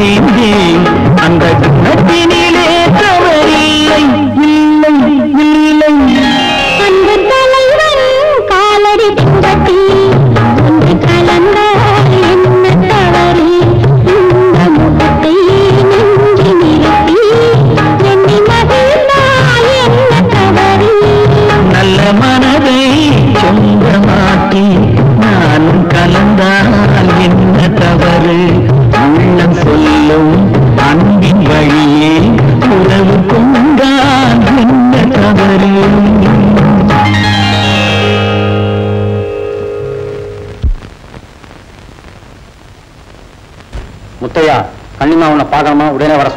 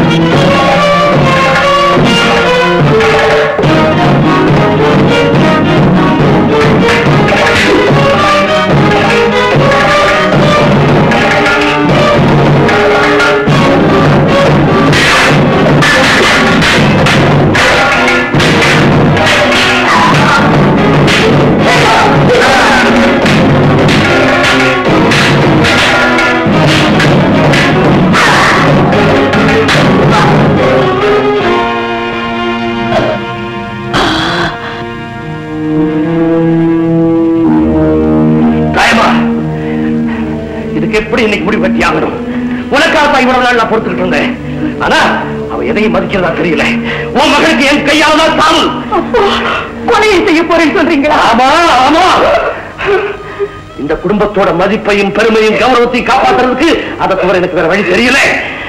வம்சத்தோட பெருமையை நிலைநாட்டுறதுக்காக தான் வாழ்க்கையை அழிச்சவன் நாலு பேர் பெருமையா பேசட்டும் அது போதும் எனக்கு. ரொம்ப நல்லா இருக்குது. கோபுரமா உயர்ந்துட்டு இருக்கிற இந்த குடும்பம் அழிப்பு வர கூட தெரியாம அழிச்சு போயிடும் நினைக்கிறீங்களா நீங்க? என்ன சொல்றது எனக்கு புரியுது. நமக்கு வாரிசே இல்லாம போயிடும் கவலைப்படுறீல்ல?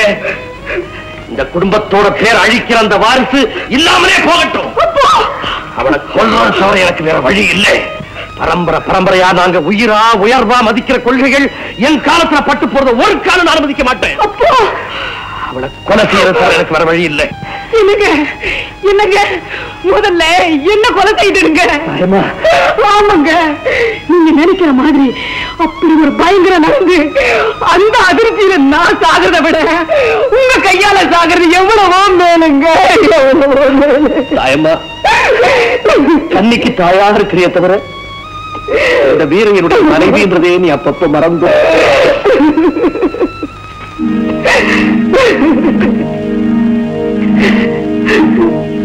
கண்ணியமா வரச்சலடா பொய்ய சொல்லி முத்தையனை வரவழைச்சோம். நம்ம விரையாவோட ஆட்களை வச்சோம்.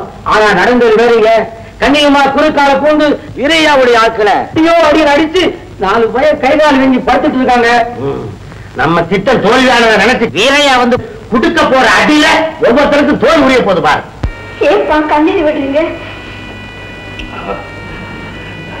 எதுக்குமே கண் கலங்காதனா எவ்வளவு பெரிய சோதனை வந்தாலும் தாய்க்கிற நெஞ்சுறுதி நான். கண்ணீர் வடிக்கிறேன். உலகமே எனக்கு அவதாம்மா. அவளுக்கு பயங்கரமான இருதய நோய்.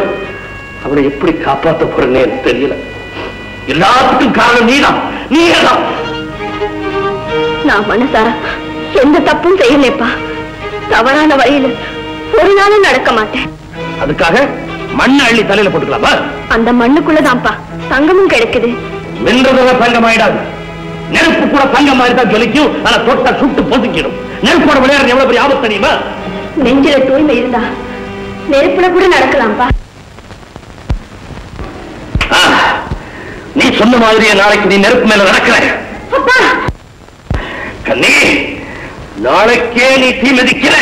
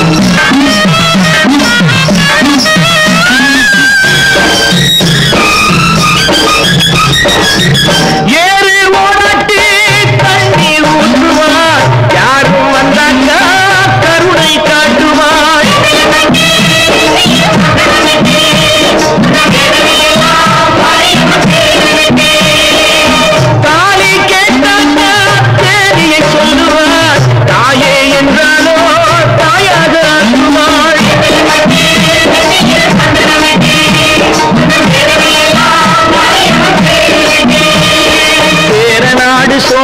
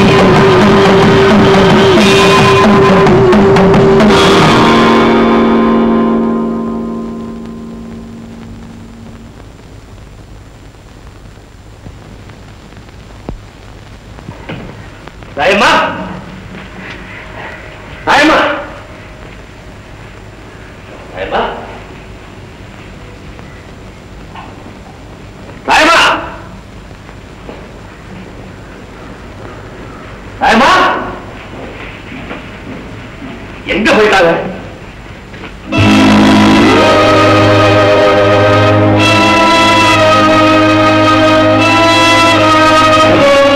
வீட்டுல உள்ள காணணும்னு பதவி போயிட்டேன்.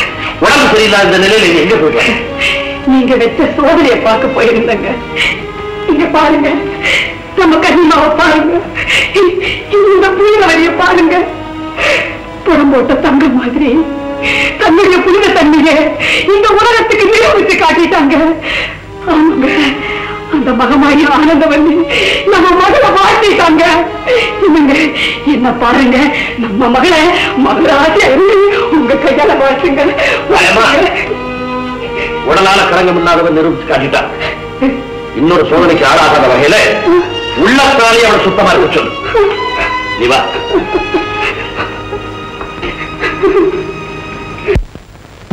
பள்ளி. நான் எப்படி வர முடியும்? நடக்கிற காரியமா இது? கண்டிப்பா வந்தாகணும். கண்ணி வந்து வார்த்தையாகணும் என்னன்னு தெரிஞ்சுமா எப்படி சொல்ற? கண்ணி இந்த ஏழை தோழியோட வாழ்க்கையில விளக்கேற்றி வைக்க உன்னால்தான் முடியும். நீ நினைச்சாதான் இந்த கல்யாணத்தை நடத்த முடியும். பள்ளி நீ விரும்புற மாதிரியே உன் கல்யாணம் நடக்கும். அதுக்காக நான் எதையும் செய்ய தயாரா இருக்கேன். நீ தைரியமா இரு.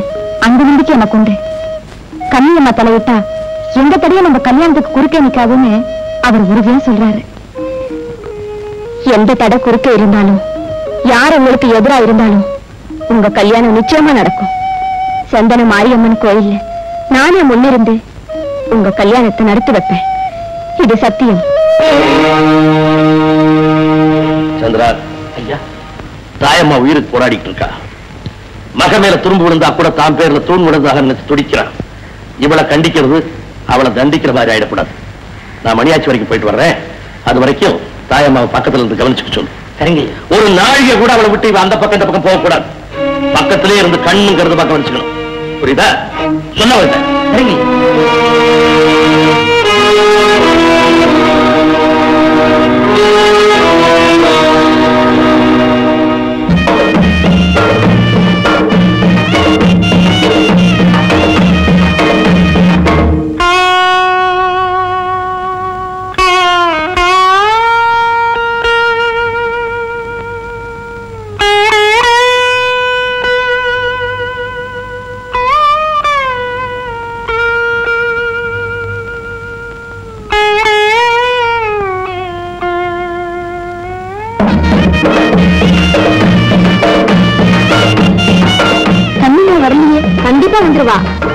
நெருங்கிடுச்சுமா கண்ணியம்மா வர நேரம் தான் முகூர்த்த நேரம்.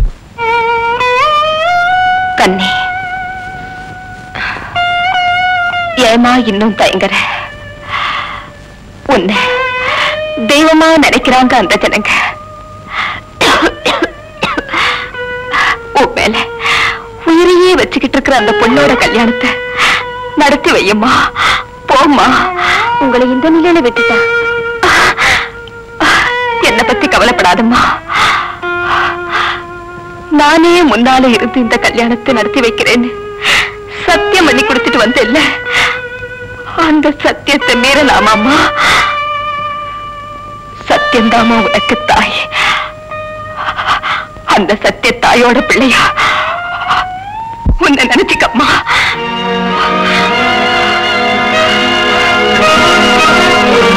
கொடுத்த வாக்க காப்பாத்துறது குடும்ப சுகத்தை மறந்து மற்றவங்களை வாழ வைக்கிறது அப்படிங்கிற நல்ல எண்ணங்கள் எல்லாம் தானாவே வந்துரும்மா.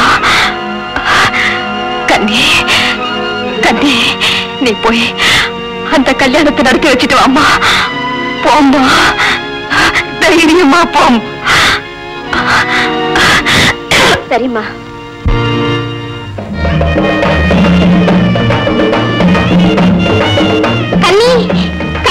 பண்ணி. கும்பிடலாமா?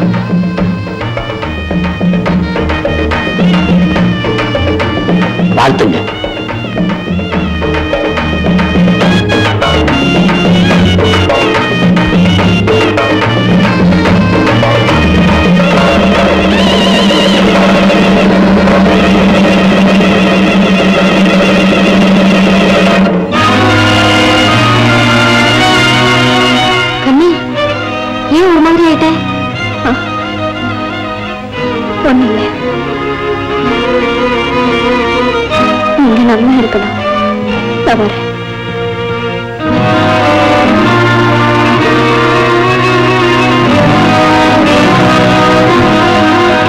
கண்ணி என்கிட்ட பேசாமலே போறியே.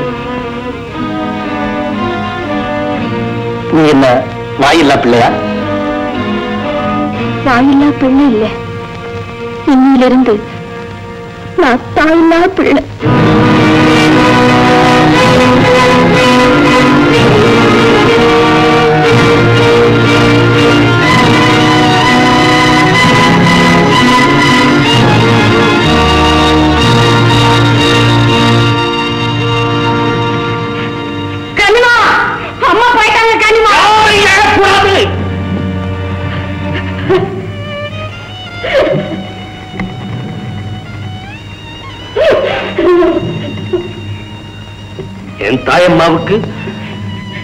இந்த ஊரையும் தவிர வேற யாரும் கிடையாது.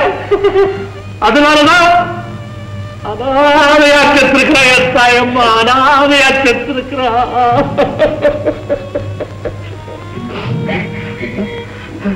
என் தாயம்மாவை கொடுத்ததுக்கு ஏற்பாடு பண்ணிட்டீங்களா? அவளை சுட்டு போதுக்கிறதுக்கு ஏற்பாடு பண்ணிட்டீங்களா? என் பொறுமைக்கு இந்த குல பெருமைக்கும் காரணமா இருந்த அவளை சுட்டு எரிக்க ஏற்பாடு பண்ணிட்டீங்களா ஐயா? என் பேரு என் பேர் ஒரு ஈவுக்காண்டா கூட பொறுக்க மாட்டா. இன்னைக்கு அவளை எங்க யாரையே சுட்டு பொறுக்க போறையா? அதோட அன்பு பாசம் பொறுமை எல்லாத்தையும் கொளுத்திடுறேன் கொளுத்திடுறாமா அமையா ஐயா. எரிய போறது என் தாயம்மா சந்தன கட்டையா வச்சு அடுக்க சொல்லுங்கய்யா.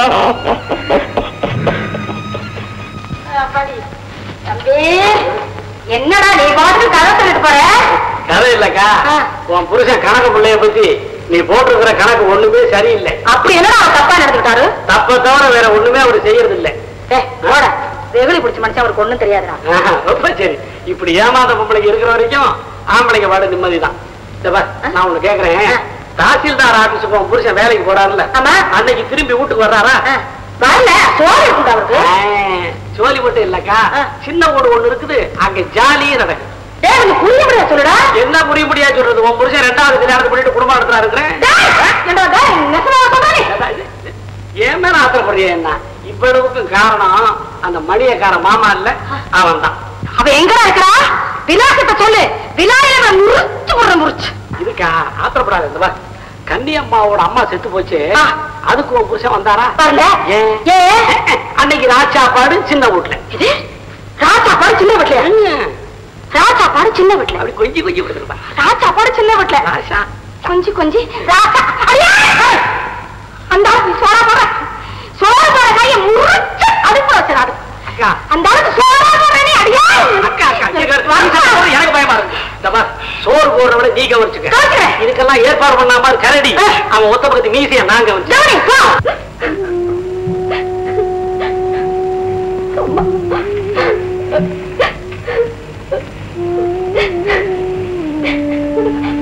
செய்யற தப்பெல்லாம் செஞ்சுட்டு அவளை இந்த உலகத்தை விட்டு அனுப்பிட்டு இப்ப அழுதுகிட்டு இருந்தா என்ன பிரயோஜனம்?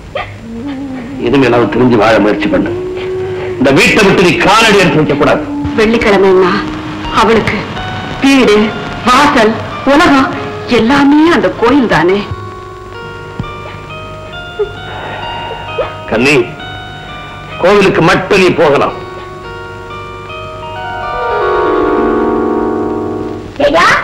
அன்னைக்கு தனாரணி கதை தெரியுமான்னு கேட்டியே?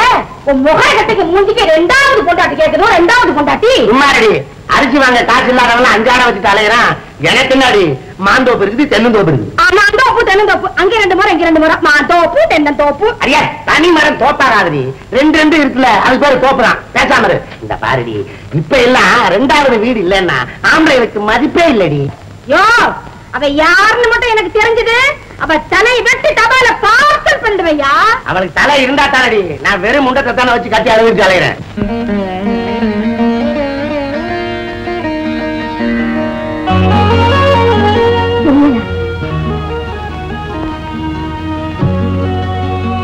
பாசமுள்ள இந்த தெய்வத்தை பார்க்கலன்னா இந்த பக்தனுக்கு பைத்தியமே பிடிச்ச மாதிரி இருக்கு. ஆபத்தான சந்திப்பு இல்ல. சந்திக்கலன்னா ஆபத்து கண்ணி ஒண்ணு புரிஞ்சு இருக்கிற கஷ்டம் என்னால தாங்க முடியாது. இந்த சோதனை போதும் கண்ணி. பிரிவு துன்பம் சோதனை இதுக்கெல்லாம் ஒரு எல்லை உண்டு. நாம இப்ப அந்த எல்லைக்கே வந்துட்டோம். இந்த நேரத்துல உறுதியா இருக்கணும். உறுதியா இருக்கிற கண்ணி. ஆனா ஒண்ணு புரிஞ்சு கொஞ்ச நேரம் கூட என்னால இருக்க முடியாது. கண்ணி மங்கள மேல சத்தம் கேக்குது. ஆமா. யாரோ வணங்க போது நம்மள வந்து நீங்க போயிடுங்க. ஆமா மறுபடியும் எங்க சந்திக்கிறது? தள்ளி போனீங்க போயிடுங்க.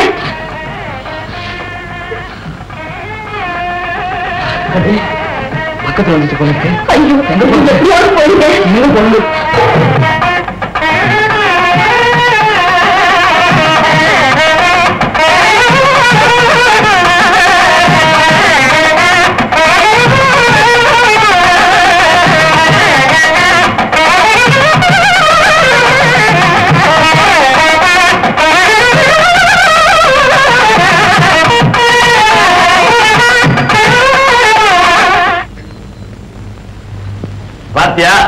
கண்ணி இங்கதான் இருக்கிறான்.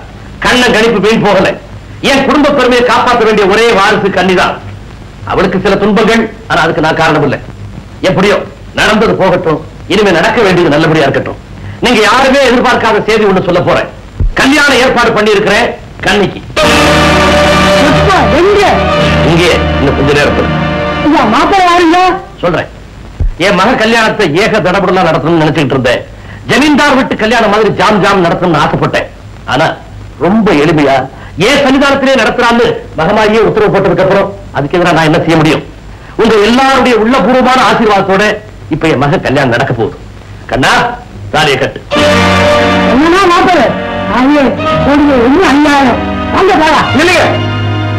யாரும் போகாதீங்க.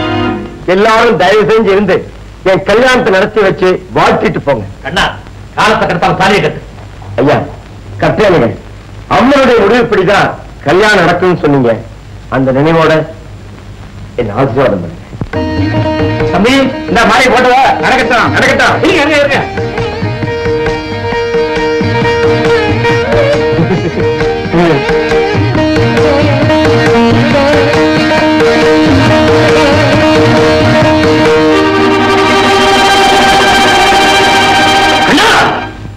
அவசரப்படாதீங்க. ஒரு பெண்ணோட கழுத்துல தாலி கட்ட சொல்லியிருந்தா நான் கட்டியிருப்பேன். ஆனா ஒரு தெய்வத்தோட கழுத்துல தாலி கட்ட சொன்னா அது நடக்கக்கூடிய காரியமா? என்னடா உளர்ற? நான் ஒண்ணும் உளரல. நான் பித்தனா பேயனா பெண்கரியனா அலைஞ்சிட்டு இருந்தப்போ என் கண்களை திறந்து என்ன மனுஷனாக்குனதே இந்த தெய்வம் தான் பெண்களையே வேட்டையாடிட்டு இருந்த எனக்கு பெண்கள்னா பராசக்தியின் வடிவம்னு உணர்த்தினதே உங்க மகதான். என்னடா இவன் புதுசா கதை சொல்றானேன்னு பாக்குறீங்களா? சொல்றேன். உன்னை கல்யாணம் பண்ணிக்காம விடமாட்டேன்னு அன்னைக்கு நான் உரத்த உரல்ல சொன்னப்போ உன்னால கெடுக்கப்பட்ட பெண்களோட கதி என்னன்னு இந்த உத்தமை கேட்டா ஹம், கீர்த்தி பெற்ற விபச்சாரிகளா மாறிட வேண்டியதானே அப்படின்னு நான் சொன்னேன். விபச்சாரிகளா மாறுறதுக்கு பதிலா வேங்கைகளா துர்க்கைகளா மாறிட்டா? அப்படிங்கிற கேள்வியை எழுப்புனா அந்த கேள்வி இருந்த அன்னைக்கே தான் அந்த விசித்திரம்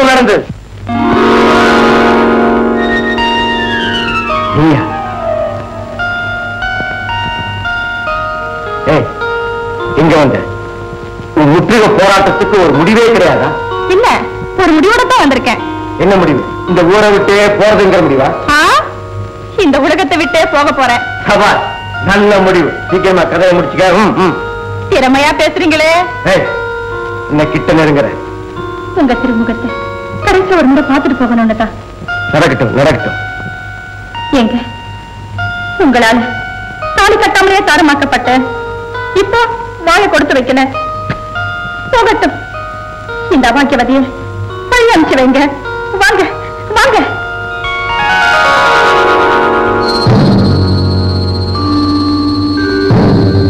எரியிற இந்த தீப்பந்தத்தை பாருங்க.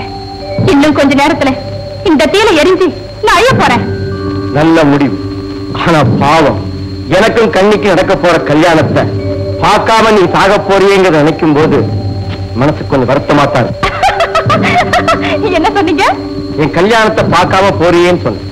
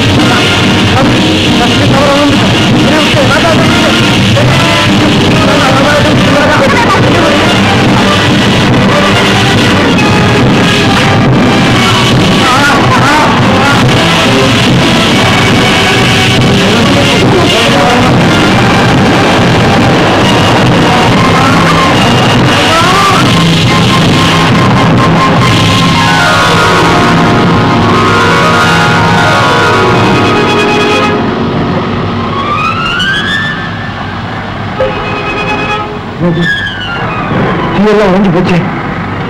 அதான். தீயெல்லாம் ஒழிஞ்சு போச்சு.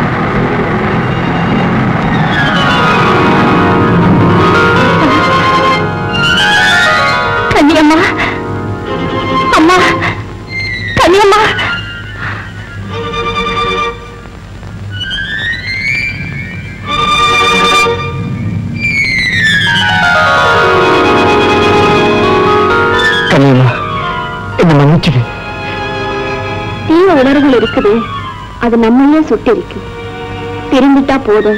மருந்து அதுதான் மனித குலத்துக்கு வழிகாட்டத்தான் மாதாவா மனைவியா கோடி உருவெடுத்து நிக்கிற அந்த மகாசக்தி கடவுள்களையே குழந்தைகளாக்கி. கற்பனை சக்தியை நிரூபிச்சு காட்டினாலே அனசூயா. பெண்தானே நீங்க திரும்புங்க. ராதாவுக்கு வாழ்வு கொடுங்க. உடலை தொட்ட நெருப்பு உயிரை தொடாம இருந்ததுக்கு காரணம் இந்த உத்தமையோட சக்தி தான் இவளை கட்டி ஆனந்தமா இருங்க. நான் வரேன்.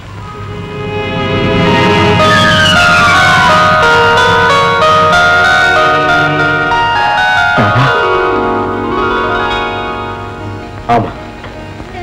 இந்த புனிதவதியோட ஆசையால நான் புது மனுஷனா மாறி ஐயா நீங்களும் திரும்பி பாழா போல ஜாதி சம்பிரதாயங்களை காப்பாத்துறேன்னு பாசம் மிக்க உங்க மன வாழ்க்கையை பாழ்படுத்த திரும்பி நல்லா இருக்கு.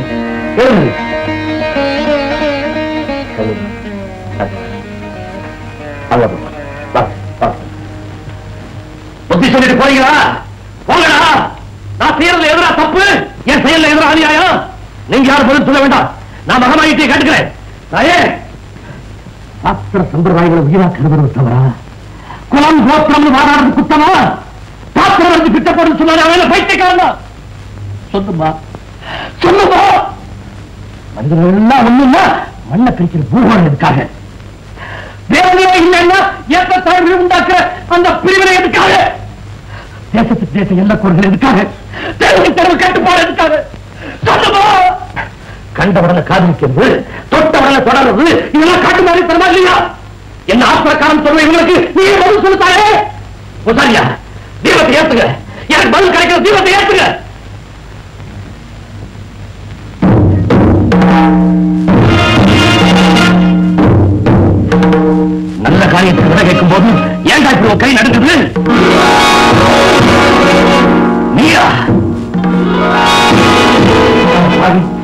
அடே, உச்சி அம்மா, சம்சாரத்துக்கே வந்துட்டியா?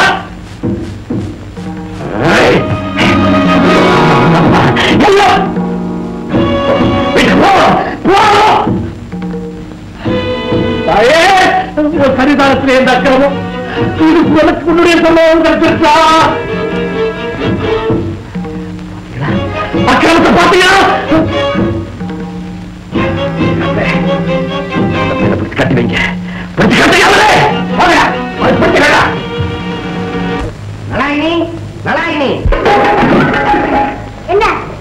வரும்போதே சந்தோஷத்தை காட்டுறியா? நம்ம ஊர்ல நடந்த அநியாயத்தை கேட்டியா நீ அநியாயமா ஆம்பளை உள்ள நிக்கிறா அப்ப நான் எந்த ஒரு கேட்கறது? நீ என்னையா சொல்ற? என்ன உனக்கு எவனி நலாயினின்னு பேர் வச்சது எங்க அப்பா? உங்க அப்பனுக்கு அறிவில்ல உன் தாத்தனுக்கு அறிவில்ல உங்க ஏரியால இருக்கிற எவனுக்குமே அறிவில்ல. ஏன் நீ நலாயினின்னு பேர் வச்சிருக்க உனக்கு? புருஷ மேல ஒரு பக்தி வேண்டாமா? இதுல விரதம் வேற. யாரி வேலைக்கு விரதம் தேவை? அப்ப நான் இல்லையா? ஊ, நீ பதி விரோதி. பந்தய குதிரை விரட்டுன மாதிரி விரட்டுறிய. யோ என்ன அடங்கப்படாது நினைச்சியா நான் செய்யற ஒவ்வொரு காரியமும் என் நன்மைக்காகத்தாயா?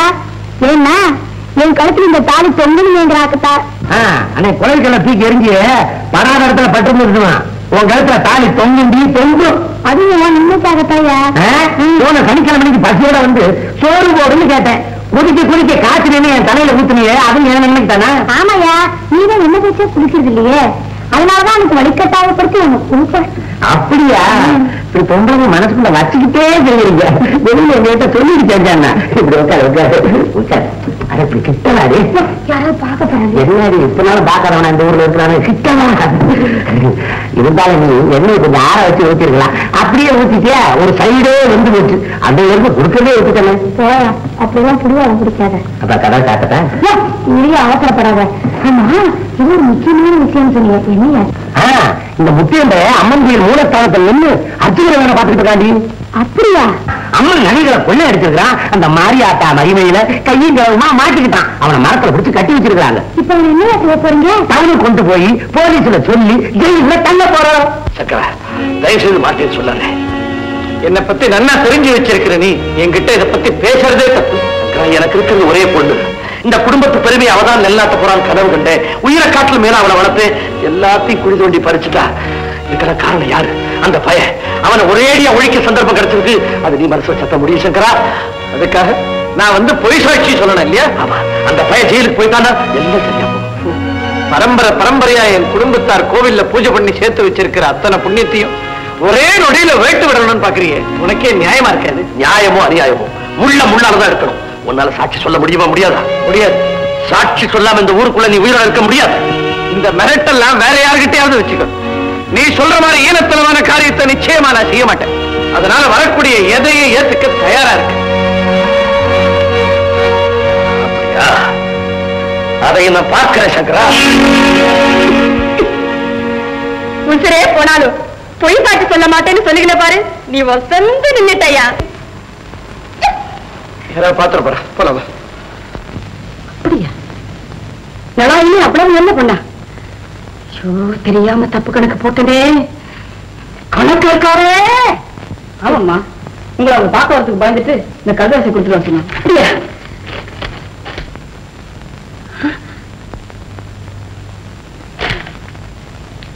சரி சரி.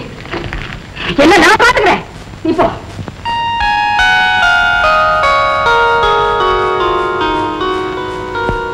ஏது அந்த புடவை. பதில் சொல்லு. ஏன் உண்மை ஆயிட்ட அவன் கொடுத்தானா? ஏண்டாய்? குடும்பத்து மானம் மரியாதை கௌரவம் அத்தனை மண்ணோட மண்ணாக்கிட்டியே. மகளுக்கு ஒரு நீதி மற்றவங்களுக்கு ஒரு நீதியா? இல்லை. இல்லவே இல்லை. தாயம்மா என்ன மன்னிச்சது இல்லங்க இது பேய் வாங்குற இடம்ல அதே ஏன் ஏமாமா பேய் வாழ்ற இடம்னு சொல்றாங்க நம்ம எங்கேயா குடி இருக்கிறோம் அதானே கேட்டேன். நம்ம ஊர்ல எல்லாம் இருக்கோம். அப்படியே பேய் வந்தாலும் மனைவார மன்னார் சாமின்னா அதுல பேயும் வாழப்போம் அப்படியே போய் வரட்டுமே. நான் பாத்துக்கிறேன் வரட்டாங்க போய். அம்மாத்த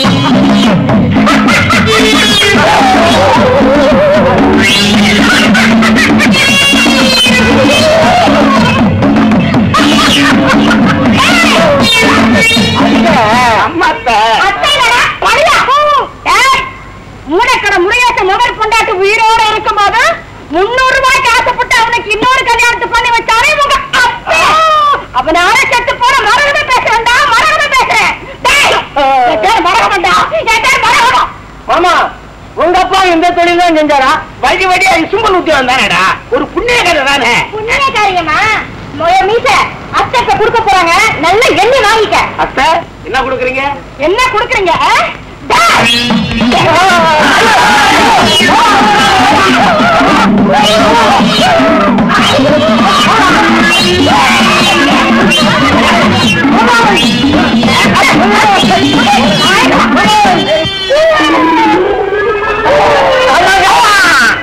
அங்க முத்தைய காணோம். மாமா அந்த அத்தை பேயில அத்தை பேய். அது நம்மள கண்ணு தெரியாம அடிச்சு அவளை கூட்டிட்டு போயிடுச்சு மாமா. கண்ணிய வீட்டுல காணோம். நாம நினைச்ச மாதிரி எல்லாம் நடந்திருக்கு? கந்தா மாணிக்கம் போங்க தேடுங்க அவ எங்க இருந்தாலும் பணத்தோட பிரிஞ்சு வாங்க.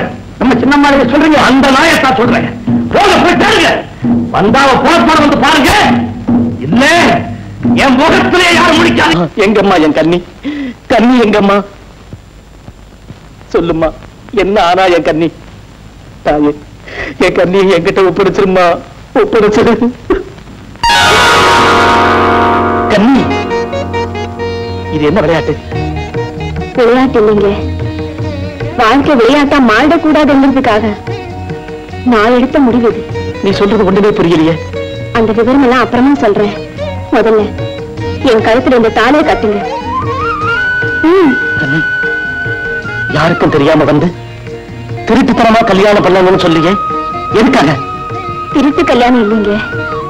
தெய்வ சாட்சியா நடக்க போற திரு கல்யாணம் ஆயிரம் பேருக்கு முன்னால அமக்கிரமா நடக்க வேண்டியது நம்ம கல்யாணம். ஆயிரம் கண்ணுடைய இந்த அம்மா முன்னால நடக்கட்டுங்க. கன நேரம் வாழ்ந்தாலும் உங்க மனைவி எங்க உண்மையோட வாழணும். சாகணும். காலத்தை கடத்தாம கட்டுங்க தாலிய அதோ வாழ்த்த வேண்டியவரே வந்துட்டாரு. நல்ல வேளை நீங்க வந்துட்டீங்க. அப்பாவுக்கு பதிலா நீங்க எங்களை ஆசீர்வாதம் பண்ணுங்க.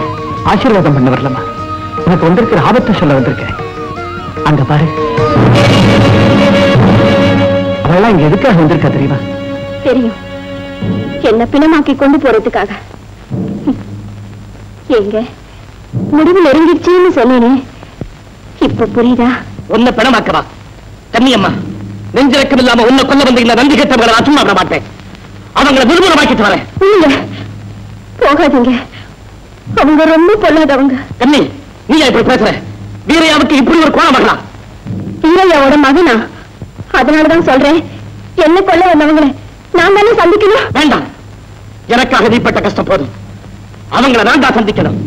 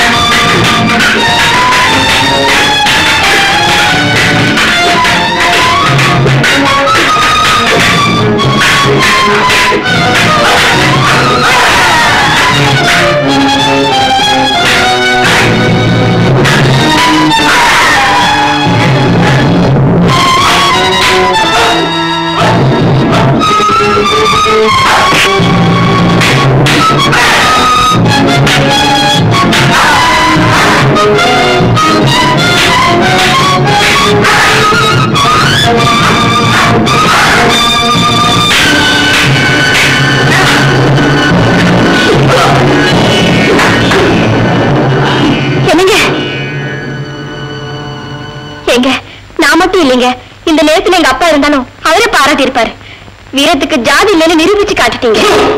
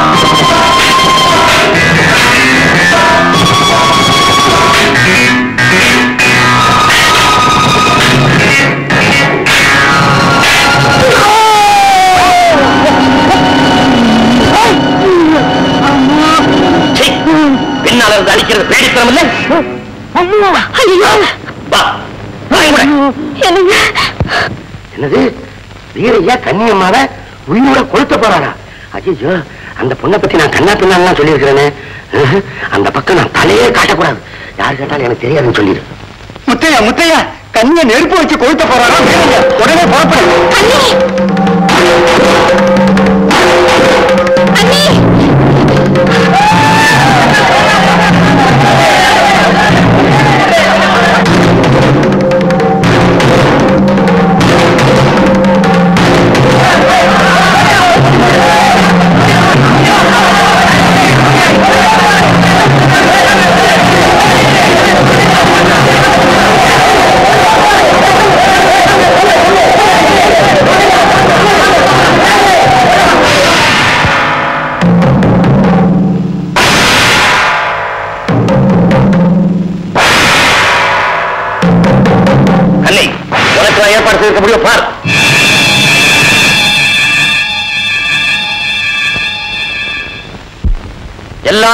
கேட்டுங்க.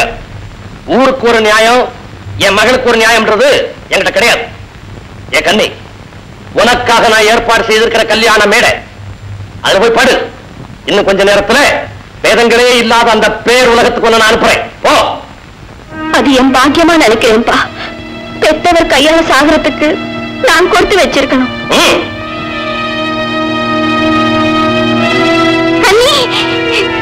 உன்னை சாக விட மாட்டோம். உன்னை நாங்க சாக விட மாட்டோம் ஐயா ஐயா கன்னியம்மாவை எதுவும் செய்யாதீங்கய்யா.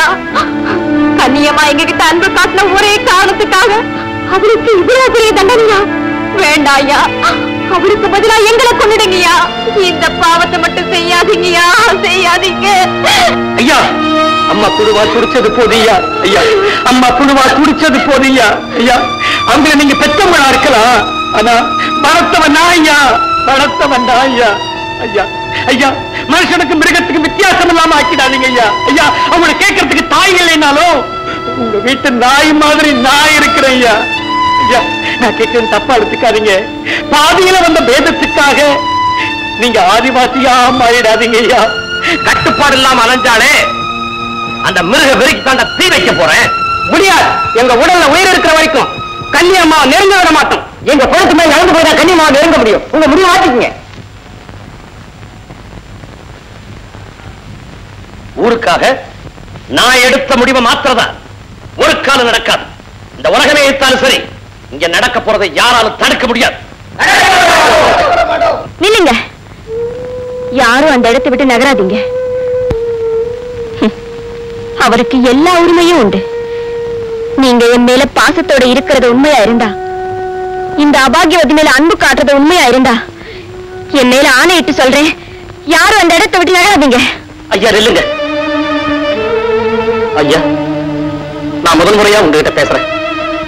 என்ன காதலிச்ச பாவத்துக்கு தான கன்னியம்பாவுக்கு இந்த தண்டனை? இதோ என்ன கொன்னுடுங்க. இதுவும் போடாதுன்னா கண்ணியம்மா ஒரு உயிருக்காக நூறு உயிரை தர்றோம். அவளை விட்டுடுங்க. யாராங்க? இவனை பிடிச்சி தள்ளுங்க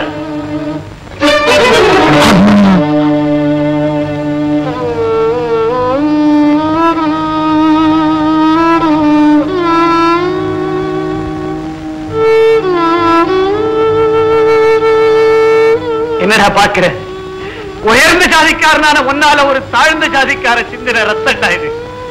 அந்த ஜாதி வித்தியாசம் எல்லாம் இந்த ரத்தத்துல தெரியல பத்தியா? சங்கரா! எல்லாம் ஒரே ரத்தம் தானடா சங்கரா! அவன் ஆயிரம் கட்டு அனுபவிச்சுட்டாடா அணு அணுவா அவளை சித்திரவதை பண்ணது போறாது. இப்ப ஒரே அடியா தீ வச்சு கொளுத்துறதுன்னே முடிவு பண்ணிட்டியா? இதெல்லாம் வேண்டாம். நீ மூட்டுற இந்த நெருப்புனால அவளுடைய உடம்ப அழிக்கலாம். ஆனா அந்த உள்ளத்துல இருக்கிற உணர்வுகளை அழிக்க ஊழி தீயிலால விட முடியாது. உண்மையான அன்பு இருக்கிற இந்த ரெண்டு ஜீவன்களை பிரிக்க எந்த சக்தியாலையும் முடியாதுடா. நான் பிரிச்சு காட்டுறேன். உன்னால தாழ்லதான் எழுத முடியும். தலையில எழுத முடியாது. மூர்க்கத்தனமான இந்த பிடிவாதம் வேண்டாம். நான் சொல்றதை கேளு. அம்பாள் கிட்டே முடிவு விட்டுறான் பொறுப்பு அம்பாள் தலையில போட்டு போறதுக்கு நான் ஒண்ணு முட்டாள் இது தாயோட சம்பந்தப்பட்ட விஷயம் தான் பக்தியுள்ள கன்னியும் பத்தினி பெண்ணும் சக்தியினுடைய வடிவங்கள்னு சாஸ்திரமே சொல்றதுடா. அதோட விளையாட. வாய மூடா சங்கரா. ஒரே வரியில சொல்றேன். போ இங்க இருந்து போ!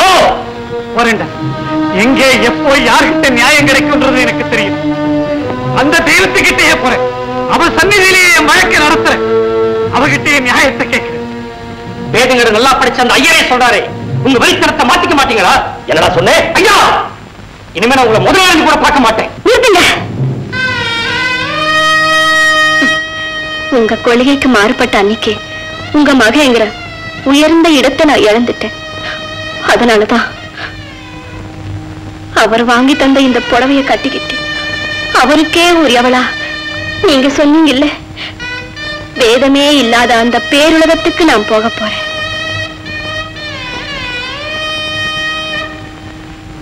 கடைசியா என் தெய்வத்தை நான் வணங்கணும். அனுமதிப்பீங்களா?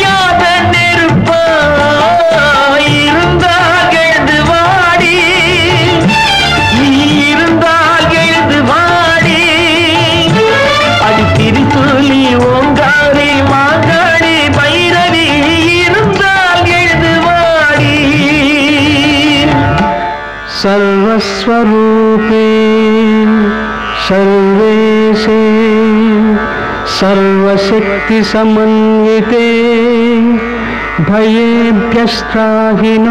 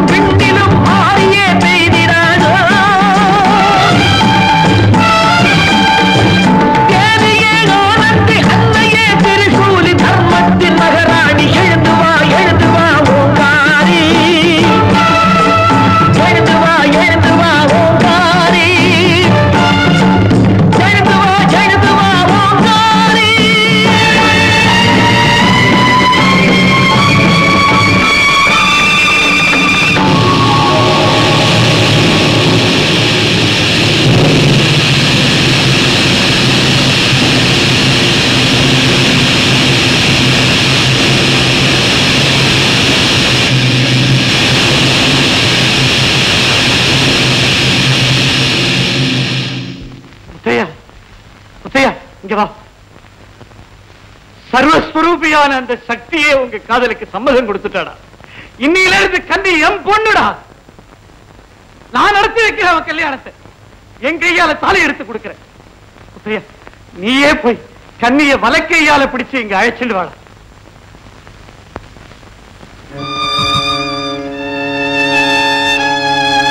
கண்ணி எழுந்திரு கண்ணி. எழுந்திரு. அம்பா நம்ம ஆசீர்வாதம் பண்ணிட்டா. எழுந்திரு கண்ணி.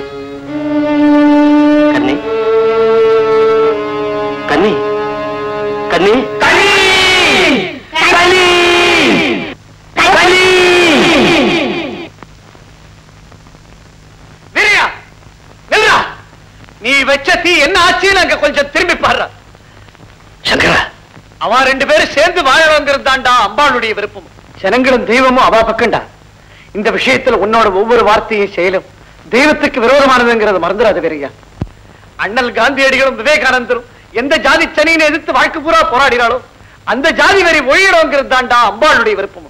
உன்னை மிருகமா மாத்தி ஊரையே கொலைக்களமாக்கின ஜாதி வரிக்கு எதிரா அந்த ஆதிபராசக்தியே முன்னால வந்து நிற்கிறப்போ அற்ப மனுஷனான நீ என்னடா செய்ய முடியும்?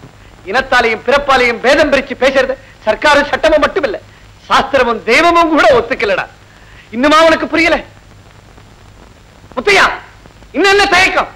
உரிமையோட ஒரு ஆக்சிடென்ட் கண்ணி கண்ணி கண்ணி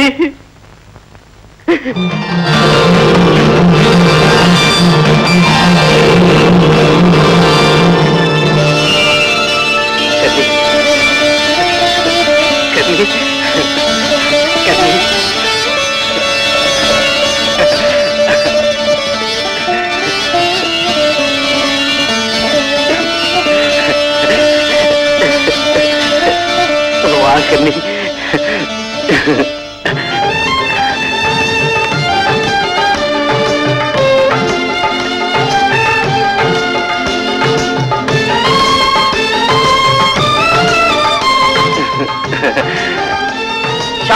உன்னுடைய பொண்ணா உன்னுடைய ஜாதி வெறியான்ற வழக்கு நடந்தது.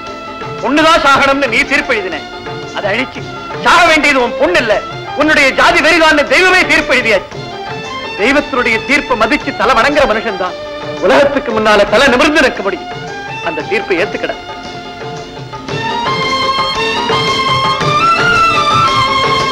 இறையா இன்னுமா யோசனை? ஆசீர்வாதம் பண்றா.